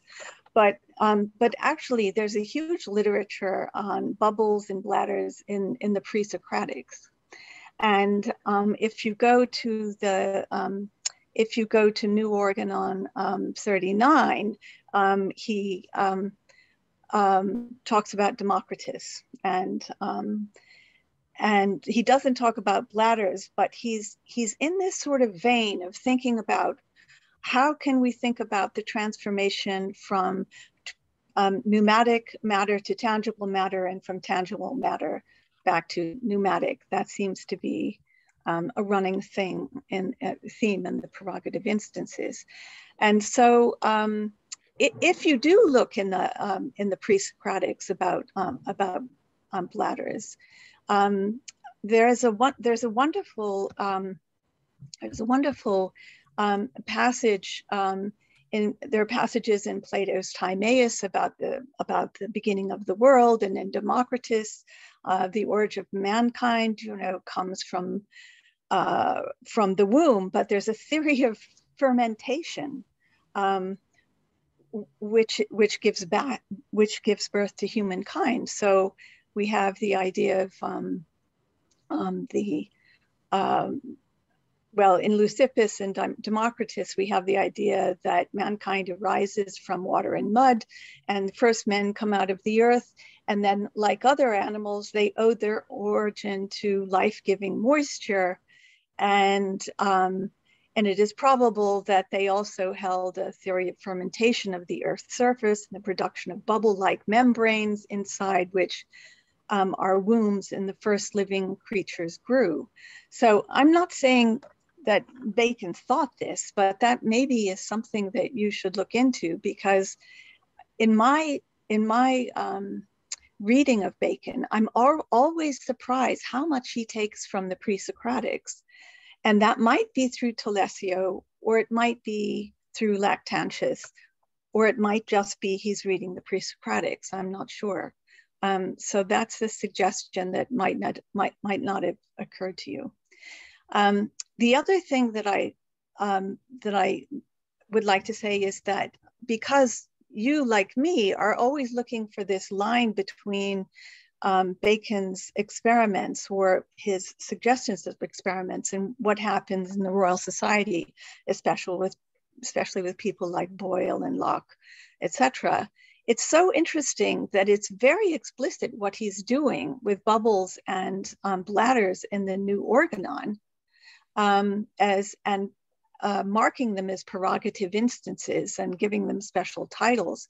But when they show up in the Royal Society, that Baconian language disappears as a category. Uh, but the language of how he describes the experiment continues. So it's interesting that um, that Boyle um, uses uses Bacon as a kind of um, springboard for how to conceive of an experiment but doesn't import his entire um, um, categories of prerogative instances into the into the language of the philosophical transactions.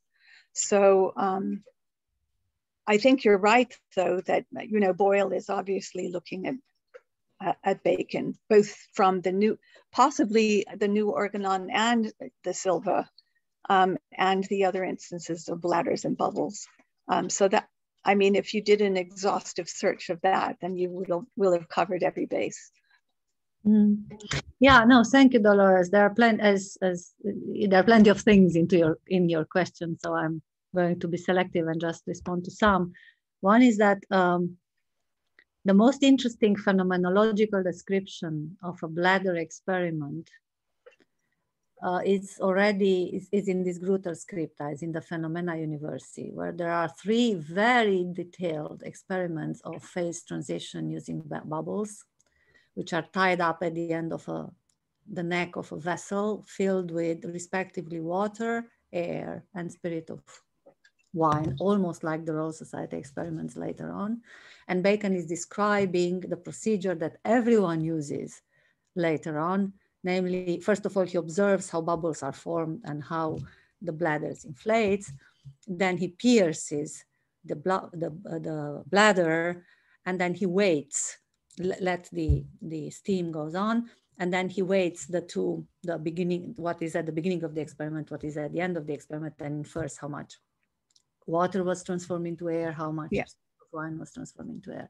What is interesting in this is that is the detail of his descriptions, mm. which clearly focus on the formation of bubbles mm. and the different way in which bubbles are formed in different liquids.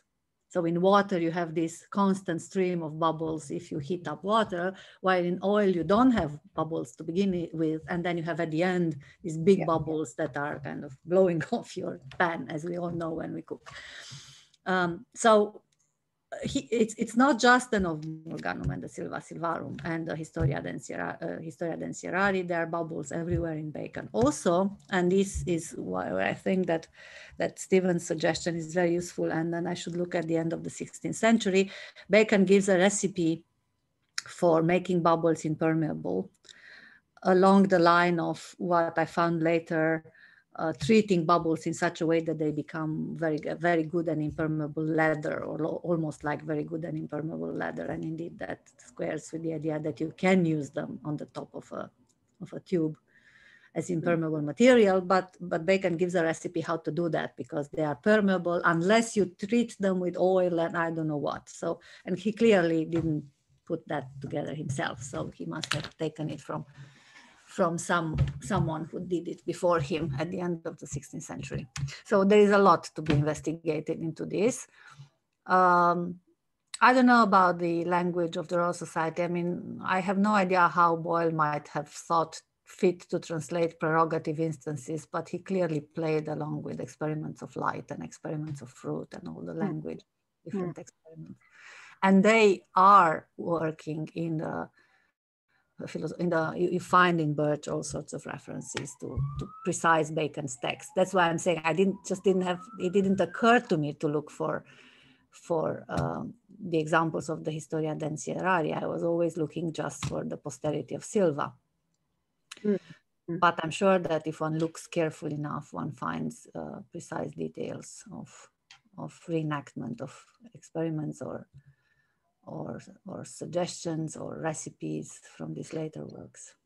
so just one last thing, um, because I'm I'm working on medicine, I I see things. I've got a, a medicine antennae, and um, what I'm impressed by is how both Bacon and the Royal Society um, are always um, seeing lateral applications of um, scientific discoveries about air or bubbles or um, uh, the dense and rare. And, and one, as I mentioned yesterday to you about cupping, um, is really interesting because you get, um, um, because of course, cupping is a, an ancient medical um, treatment, but, um, but Boyle is interested in cupping and uh, uh, members of the Royal Society are interested in cupping and people who in the 18th century, like Pringle, who is a, um, a medical doctor who ends up becoming head of the Royal Society, um, actually um, reading Bacon as a medical author,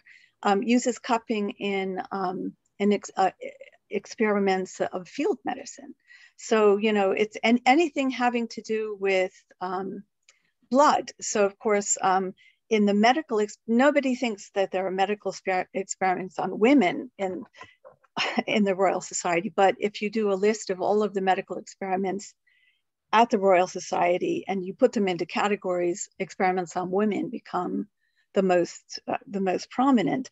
And and the reason that something like cupping becomes important for um, women's experiments is because it has to do with blood. So menstrual blood or or the, the cleaning the toxins of the humors during a, a, woman's cycle and that sort of thing. So so this this um, this idea about bladders and um, um, it, it, turns into some all these different things because they're interconnected. So yeah. Yeah. Thank you. We yeah. we have to discuss more about this. Yeah. Thank you so much, Dolores. And Ariana is next. So Dana, thank you, thank you so much for. Uh, uh, as, as, I obviously expected a, a really uh, exciting talk. Brought me to a lot of ideas. Uh, unfortunately, I'm not at all familiar with the specific experiments you discussed. So what I'm saying is just very much, uh, so very, very spe speculative. Um, first of all, I completely agree with you that um, discussing these experiments as examples of the Torricellian experiment or the Boyle's law just hides the, the, what, what it was about, let's say, in a sense. And uh, what I was wondering about the bladder is, um, it, I have the impression that um, possibly these, these bladders um, were useful for the questions that were asked in these experiments that um, were very much possibly about dynamics, about the behavior of the air, what it does. It because of course, if you you can, from our point of view, say you can test the Boyle's law in a static way, but actually it's different if you want to um, to to see the air expand and react. So this would be my my very generic remark, and then um, from there I was wondering because you mentioned um, Bacon and then also Telesio and um, uh, the rare and the dense.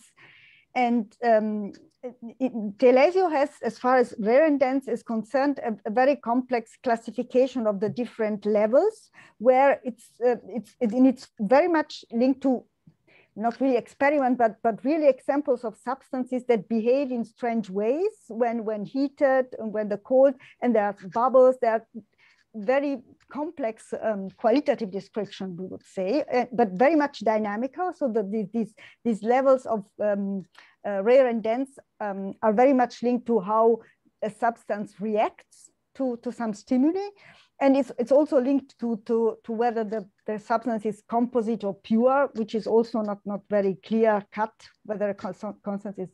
And, and in this um, context, for example, one important reaction would be that the substance splits, for example, bubbles come out or smokes comes out or fumes.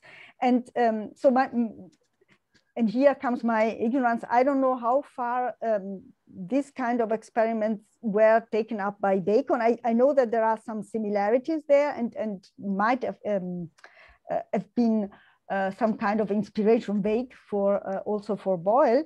And but my point is, um, to me, the impression is really here. It's about seeing something move. These dynamic, these pneumatic experiments that you cannot really reduce to the mechanical thing. Or, or maybe Boyle tried to with the atoms, but it's really uh, so. If you're trying to to to understand how say a bubble or a void in, in, in the matter could could behave, then you really have a model of it with the bladder. Yeah. So that maybe the bladder as a model, this is really very, very far-fetched. Okay, thanks. I stop here. Thank you. No, I mean, Ariana, as usual, uh, your suggestions are extremely useful. I'm, I, uh, I, I don't know Telesio. That's my problem. So that's that's something I should discuss with you and with Doina and read more.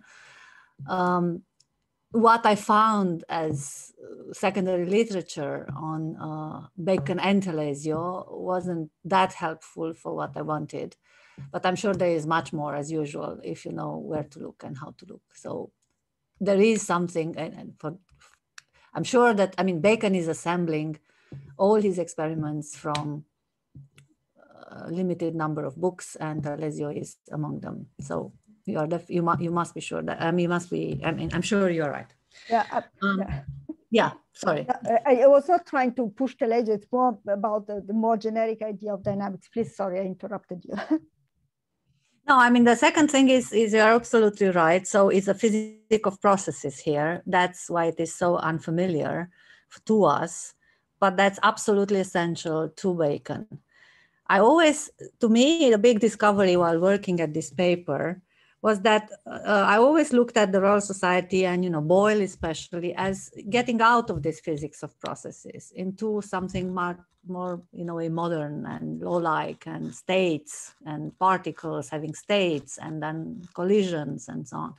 And to me, it was a big surprise to discover first uh, when we work with Oana on on Boyle and plants and chemical transmutation that that's not the case and there's a physics of process physics of processes in Boyle and now with this elasticity that again you have this rest in Boyle's explanations that points towards a dynamic physics of processes. Uh, so I'm I'm thrilled but by what I discovered while while working for this paper and I'm going to do more in this direction because that's precisely what what it's not always discussed when people are discussing Boyle. The, the, the extent to which his, his experiments are descriptive of processes unfolding in matter. Yeah. Thanks so much, Ariana and Dana. And as I invite people to uh, sign up for a new round of questions, I'm going to abuse my privilege as a chair and ask a question of my own, if I may. Um, so uh, Dana, thanks so much. Everybody's been and and uh, starting with you yourself have been um, um, incredibly historically careful. And so I'll just break rank and ask uh, the introductory epistemology question. Um, so you started out, if I remember, by um, saying that this project is at the crossroads of concept formation, modeling, and experimentation right? And then you distinguished between performative enactment and imaginary enactment.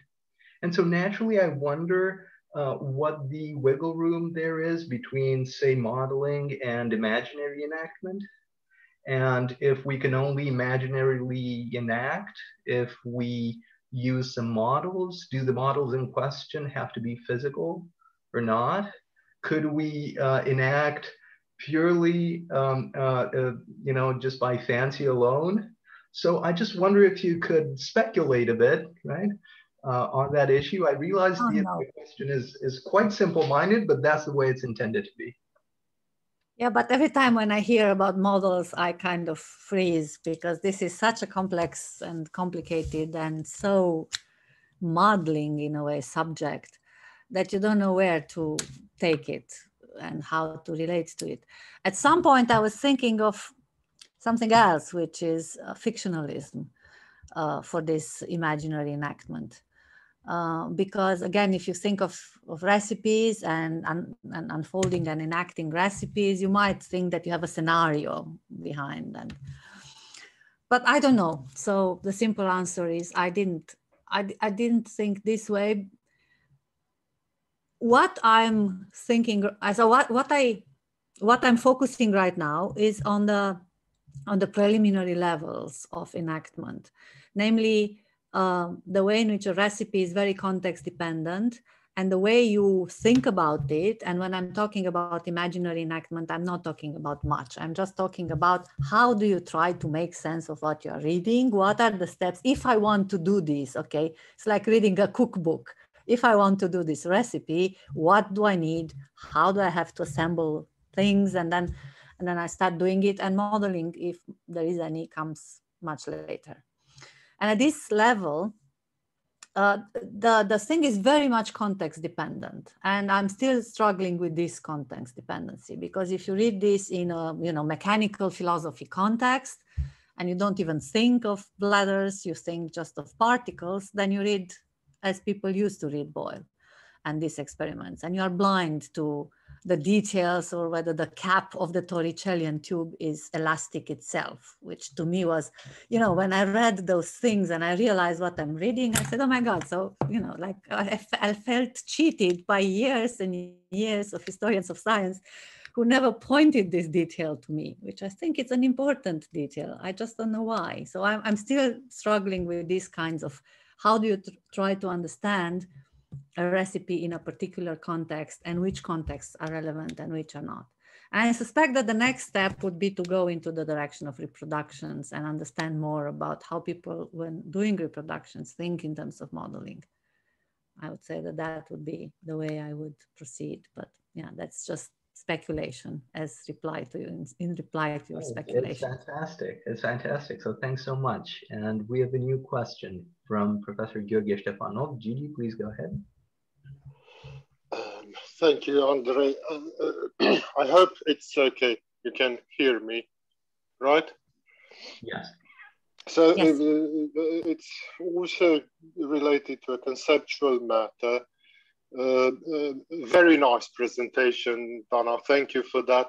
Uh, uh my question is because one thing you also pointed out in the discussion seemed very interesting the difference between proper experiments, which are repeatable, and these sort of recipes. I don't recall your term, but the distinction uh, seemed uh, quite interesting, and uh, my question is related to this distinction. So, is there uh, something like a degree here, a degree distinction, or and when because you know, even a recipe, a cooking recipe, can be criticized if it's not repeatable, if you don't get close enough uh, results to those advertised. And so, how would you spell out the distinction a bit yeah. more? That's that's all I okay. wanted to ask. Yes. So uh, that's that's precisely what I want to do in this project. So ask me again in three year times. Let me give you some preliminary answer now, which is that um, there are degrees of uh, performing and enacting and then recording the recipes. Uh, and at the very end of this recipe tradition, you find something that we use, we call today, or history of science called experiments. Now, I was always, uh, I always had this, this question of what are the experiments? Usually historians of science are saying, well, you know, the event experiment. That's our model. The event experiment, namely, it had has happened, and, that whoever did it records the details, the time, whoever witnessed it, and all sorts of other things. That's to me that's not very convincing because there are all sorts of details such as that added to recipes that do not make them very experimentally. So clearly there is something more which is the connection with the theory and the kind of conceptual structure of the experiment and uh, without that you don't have experiment. But at the level of of what i'm talking here which is a kind of pre-paradigmatic science to talk in kuhnian terms uh, it's very useful to think in terms of enacting recipes. Um, and in terms of degrees of enacting recipes. So for example, one thing I'm trying to show in my project is that not all enactments lead to experiments. Uh, right. And, yeah. Okay, so so some, for example, lead to what we call in the project a kind of technology, which is a stabilized result. And together with Oana Matei, we wrote a paper on cider as a spiritual technology. And so, you know, making cider is a set of recipes that got stabilized. People know how to make cider. They do have all sorts of conceptual invention, instrumental invention, but there is no science of cider at the end of it. It's just a, a technological process. Right.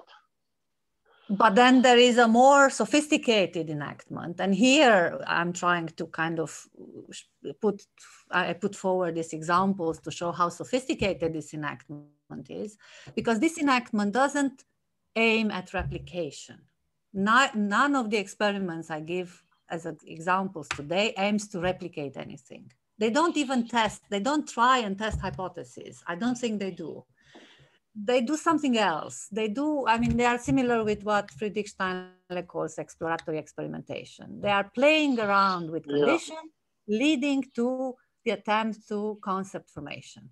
And they come up, come up with these concepts, power of experimentation and later and so on which then becomes part of explanatory layers of theories, and then presumably at some point theories are formed. Right. Yeah. Yeah. Yeah. Uh, you've said a lot more already. So yeah, thank you. Thank you very much indeed. All right. Thanks so much, Gigi. And I wonder if there are any more questions.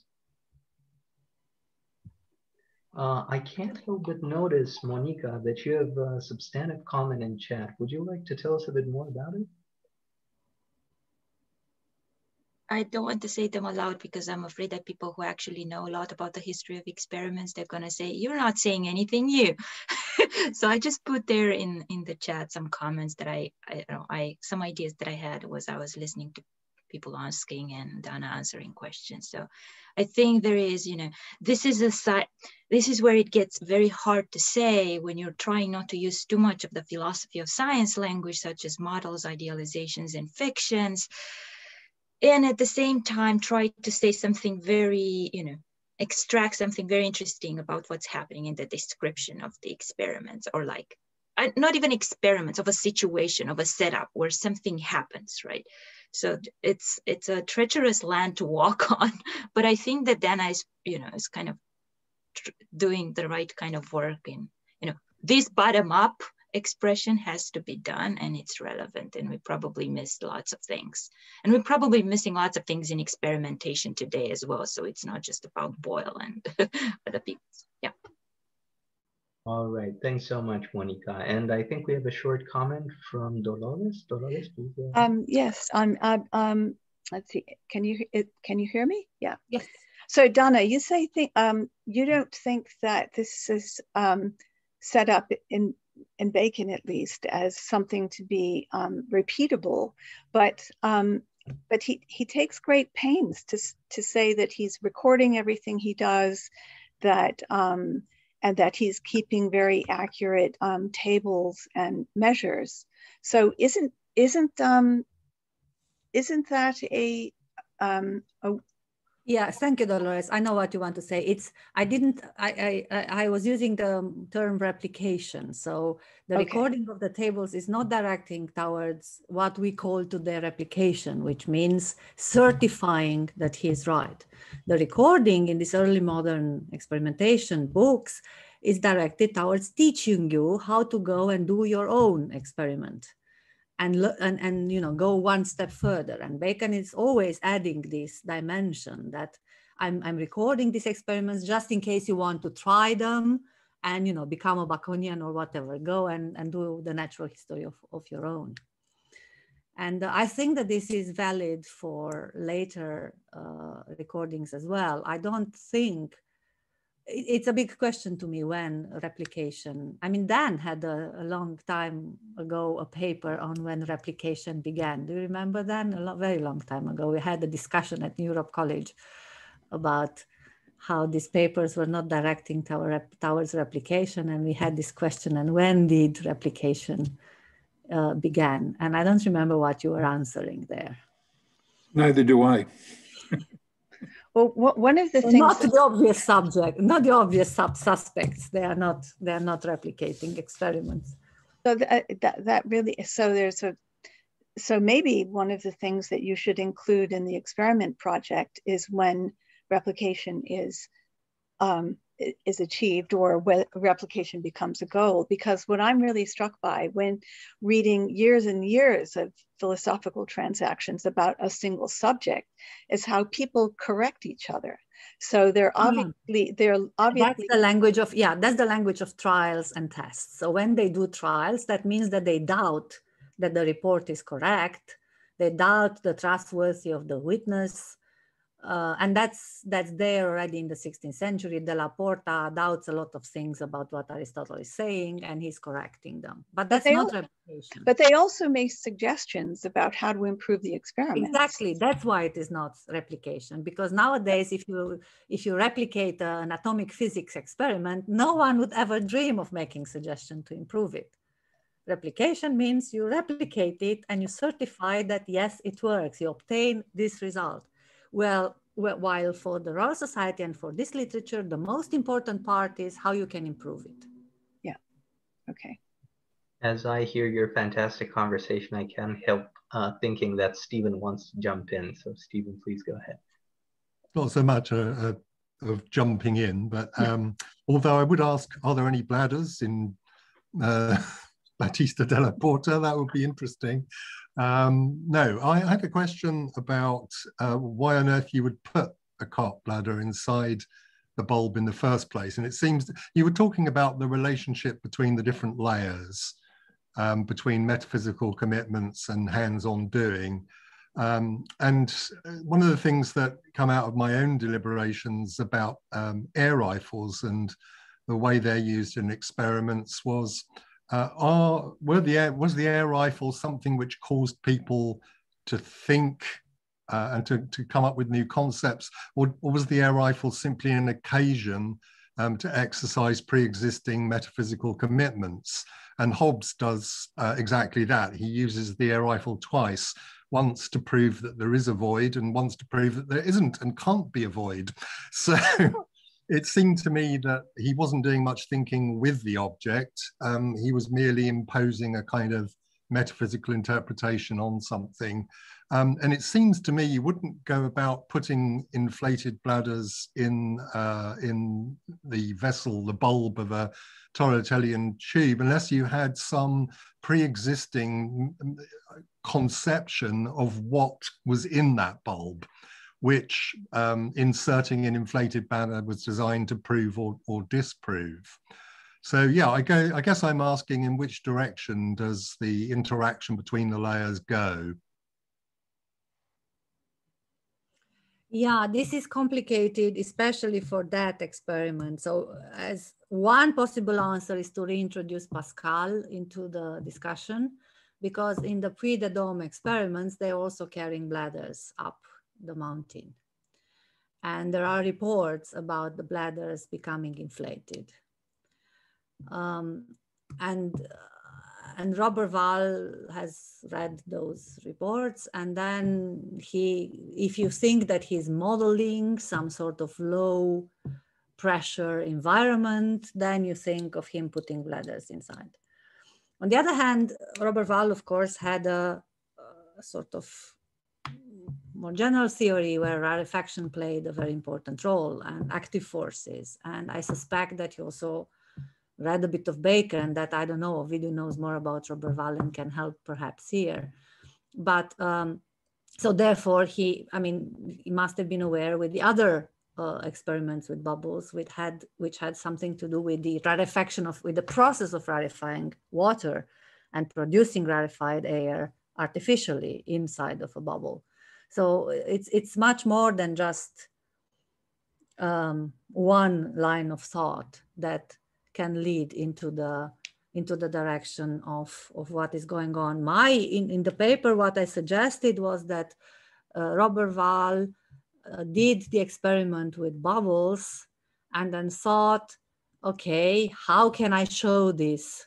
That air expands more forcefully than water in such a way that no one contests is and, and then he he kind of find the kind of bubble that wouldn't burst because the bubble would be the obvious choice. People were already experimenting with bubbles, but pork bubble, pork bladders and, and whatever other bladders you cannot introduce in the Torricellian tube.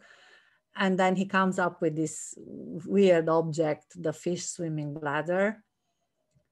Uh, and he claims that it's his own invention, that, that he was thinking what kind of object can be put there to show what he wanted to show, namely that the powers, that, that the power of a, of a bubble of air is stronger than the power of a bubble of water. That's what he wants to show, to say. So I don't think it's so much a question of what is inside there, but it's a question of what he wants. He wants to display the power of the air to uh, expand and produce visible effects.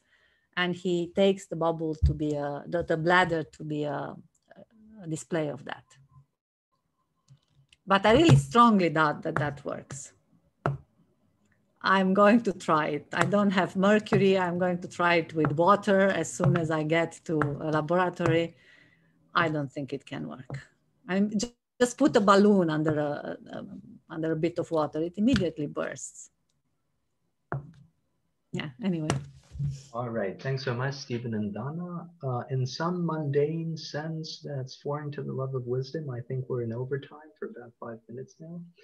Um, but uh, if there are any, this is the last call, right? So um, I wonder, uh, Dan, you've asked the first question and then you've been inordinately quiet and, and shy. So I wonder if you'd like to have a last comment. Um, sure. I've been thinking about, and this has been a marvelous discussion, a marvelous talk. but just to pick up on um, one thing that Donna said was that these sorts of experiments are pre-paradigmatic in the Kuhnian sense. And um, they involve, and they're connected with concept formation. For example, the, the idea of the spring of air.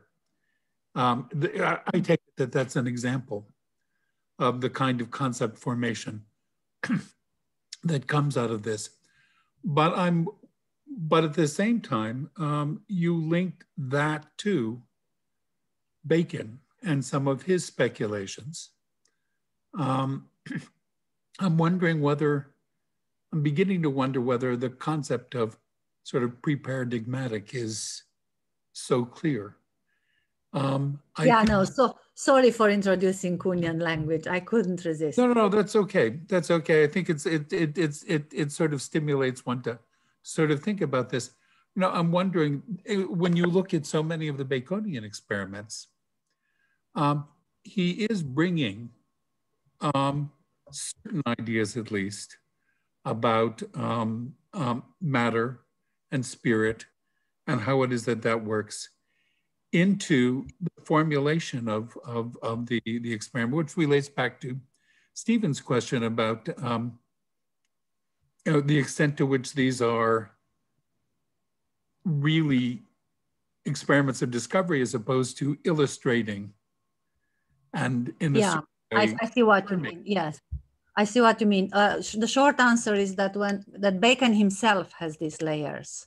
So what i right. see in Bacon is that the fundamental metaphysical engagement for Bacon are the two quaternions of matter, the sulphureous right. and mercurial, not the spirit and the tangible. The spirit and the tangible are this kind of very general operational concept. And that's precisely why Boyle and Henry Power are talking about spirits when they're talking about you know plants or other things or mercurial experiments. They take the, the concept of spirit because it's not metaphysically charged. My claim is that plica materiae is of the latter kind. So it's, it, it's an operational concept. It gets operationalized. Although its root is in metaphysics, yeah. he takes it in the Historia Densi et Rari because it's not metaphysic. Yeah. So what I my see point, here, my point is, is, is more general than that though that you're always bringing some something that is theoretical, yeah, something that is maybe physical, you know, how you characterize it. But at the same time, the working with it in practice, new concepts can arise from old. You're never, in a certain sense, starting from scratch.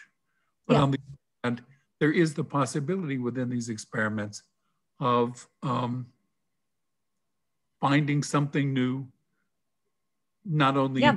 but also conceptually.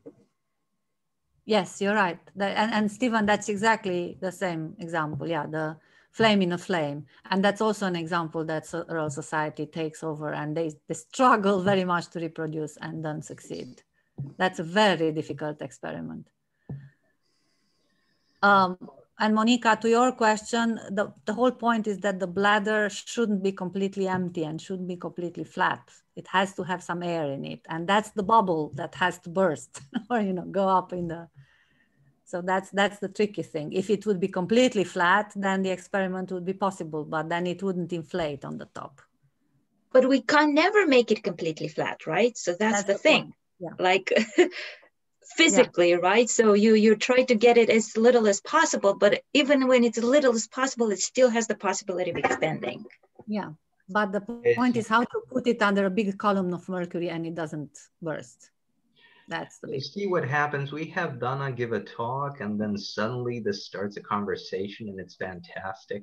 So this is this is this is amazing. Um, I very much hope Dana that there will be new installments to this, and that um, you will uh, bring forth new presentations and new experiments to enlighten our evenings. This has been quite fantastic. So please join me in thanking Dana, and I will be using the applause button once again.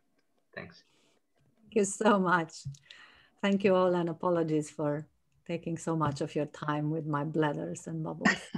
just, just, just as a footnote, um, the uh, uh, early sources like Hero um, are using um, bladder experiments and Della, look at it. And, yeah. Della, and Della Porta is citing Hero, so um, etc. Yeah. So it's not, it's yeah, not, um, if Hero is already using bladders for a pneumatic experiments, then uh, the suggestion of looking at the pre-Socratics is not completely um, out of the question. So thank thanks. you, Dolores. Okay. Thanks so much, and thanks everybody. Have a good night. Bye.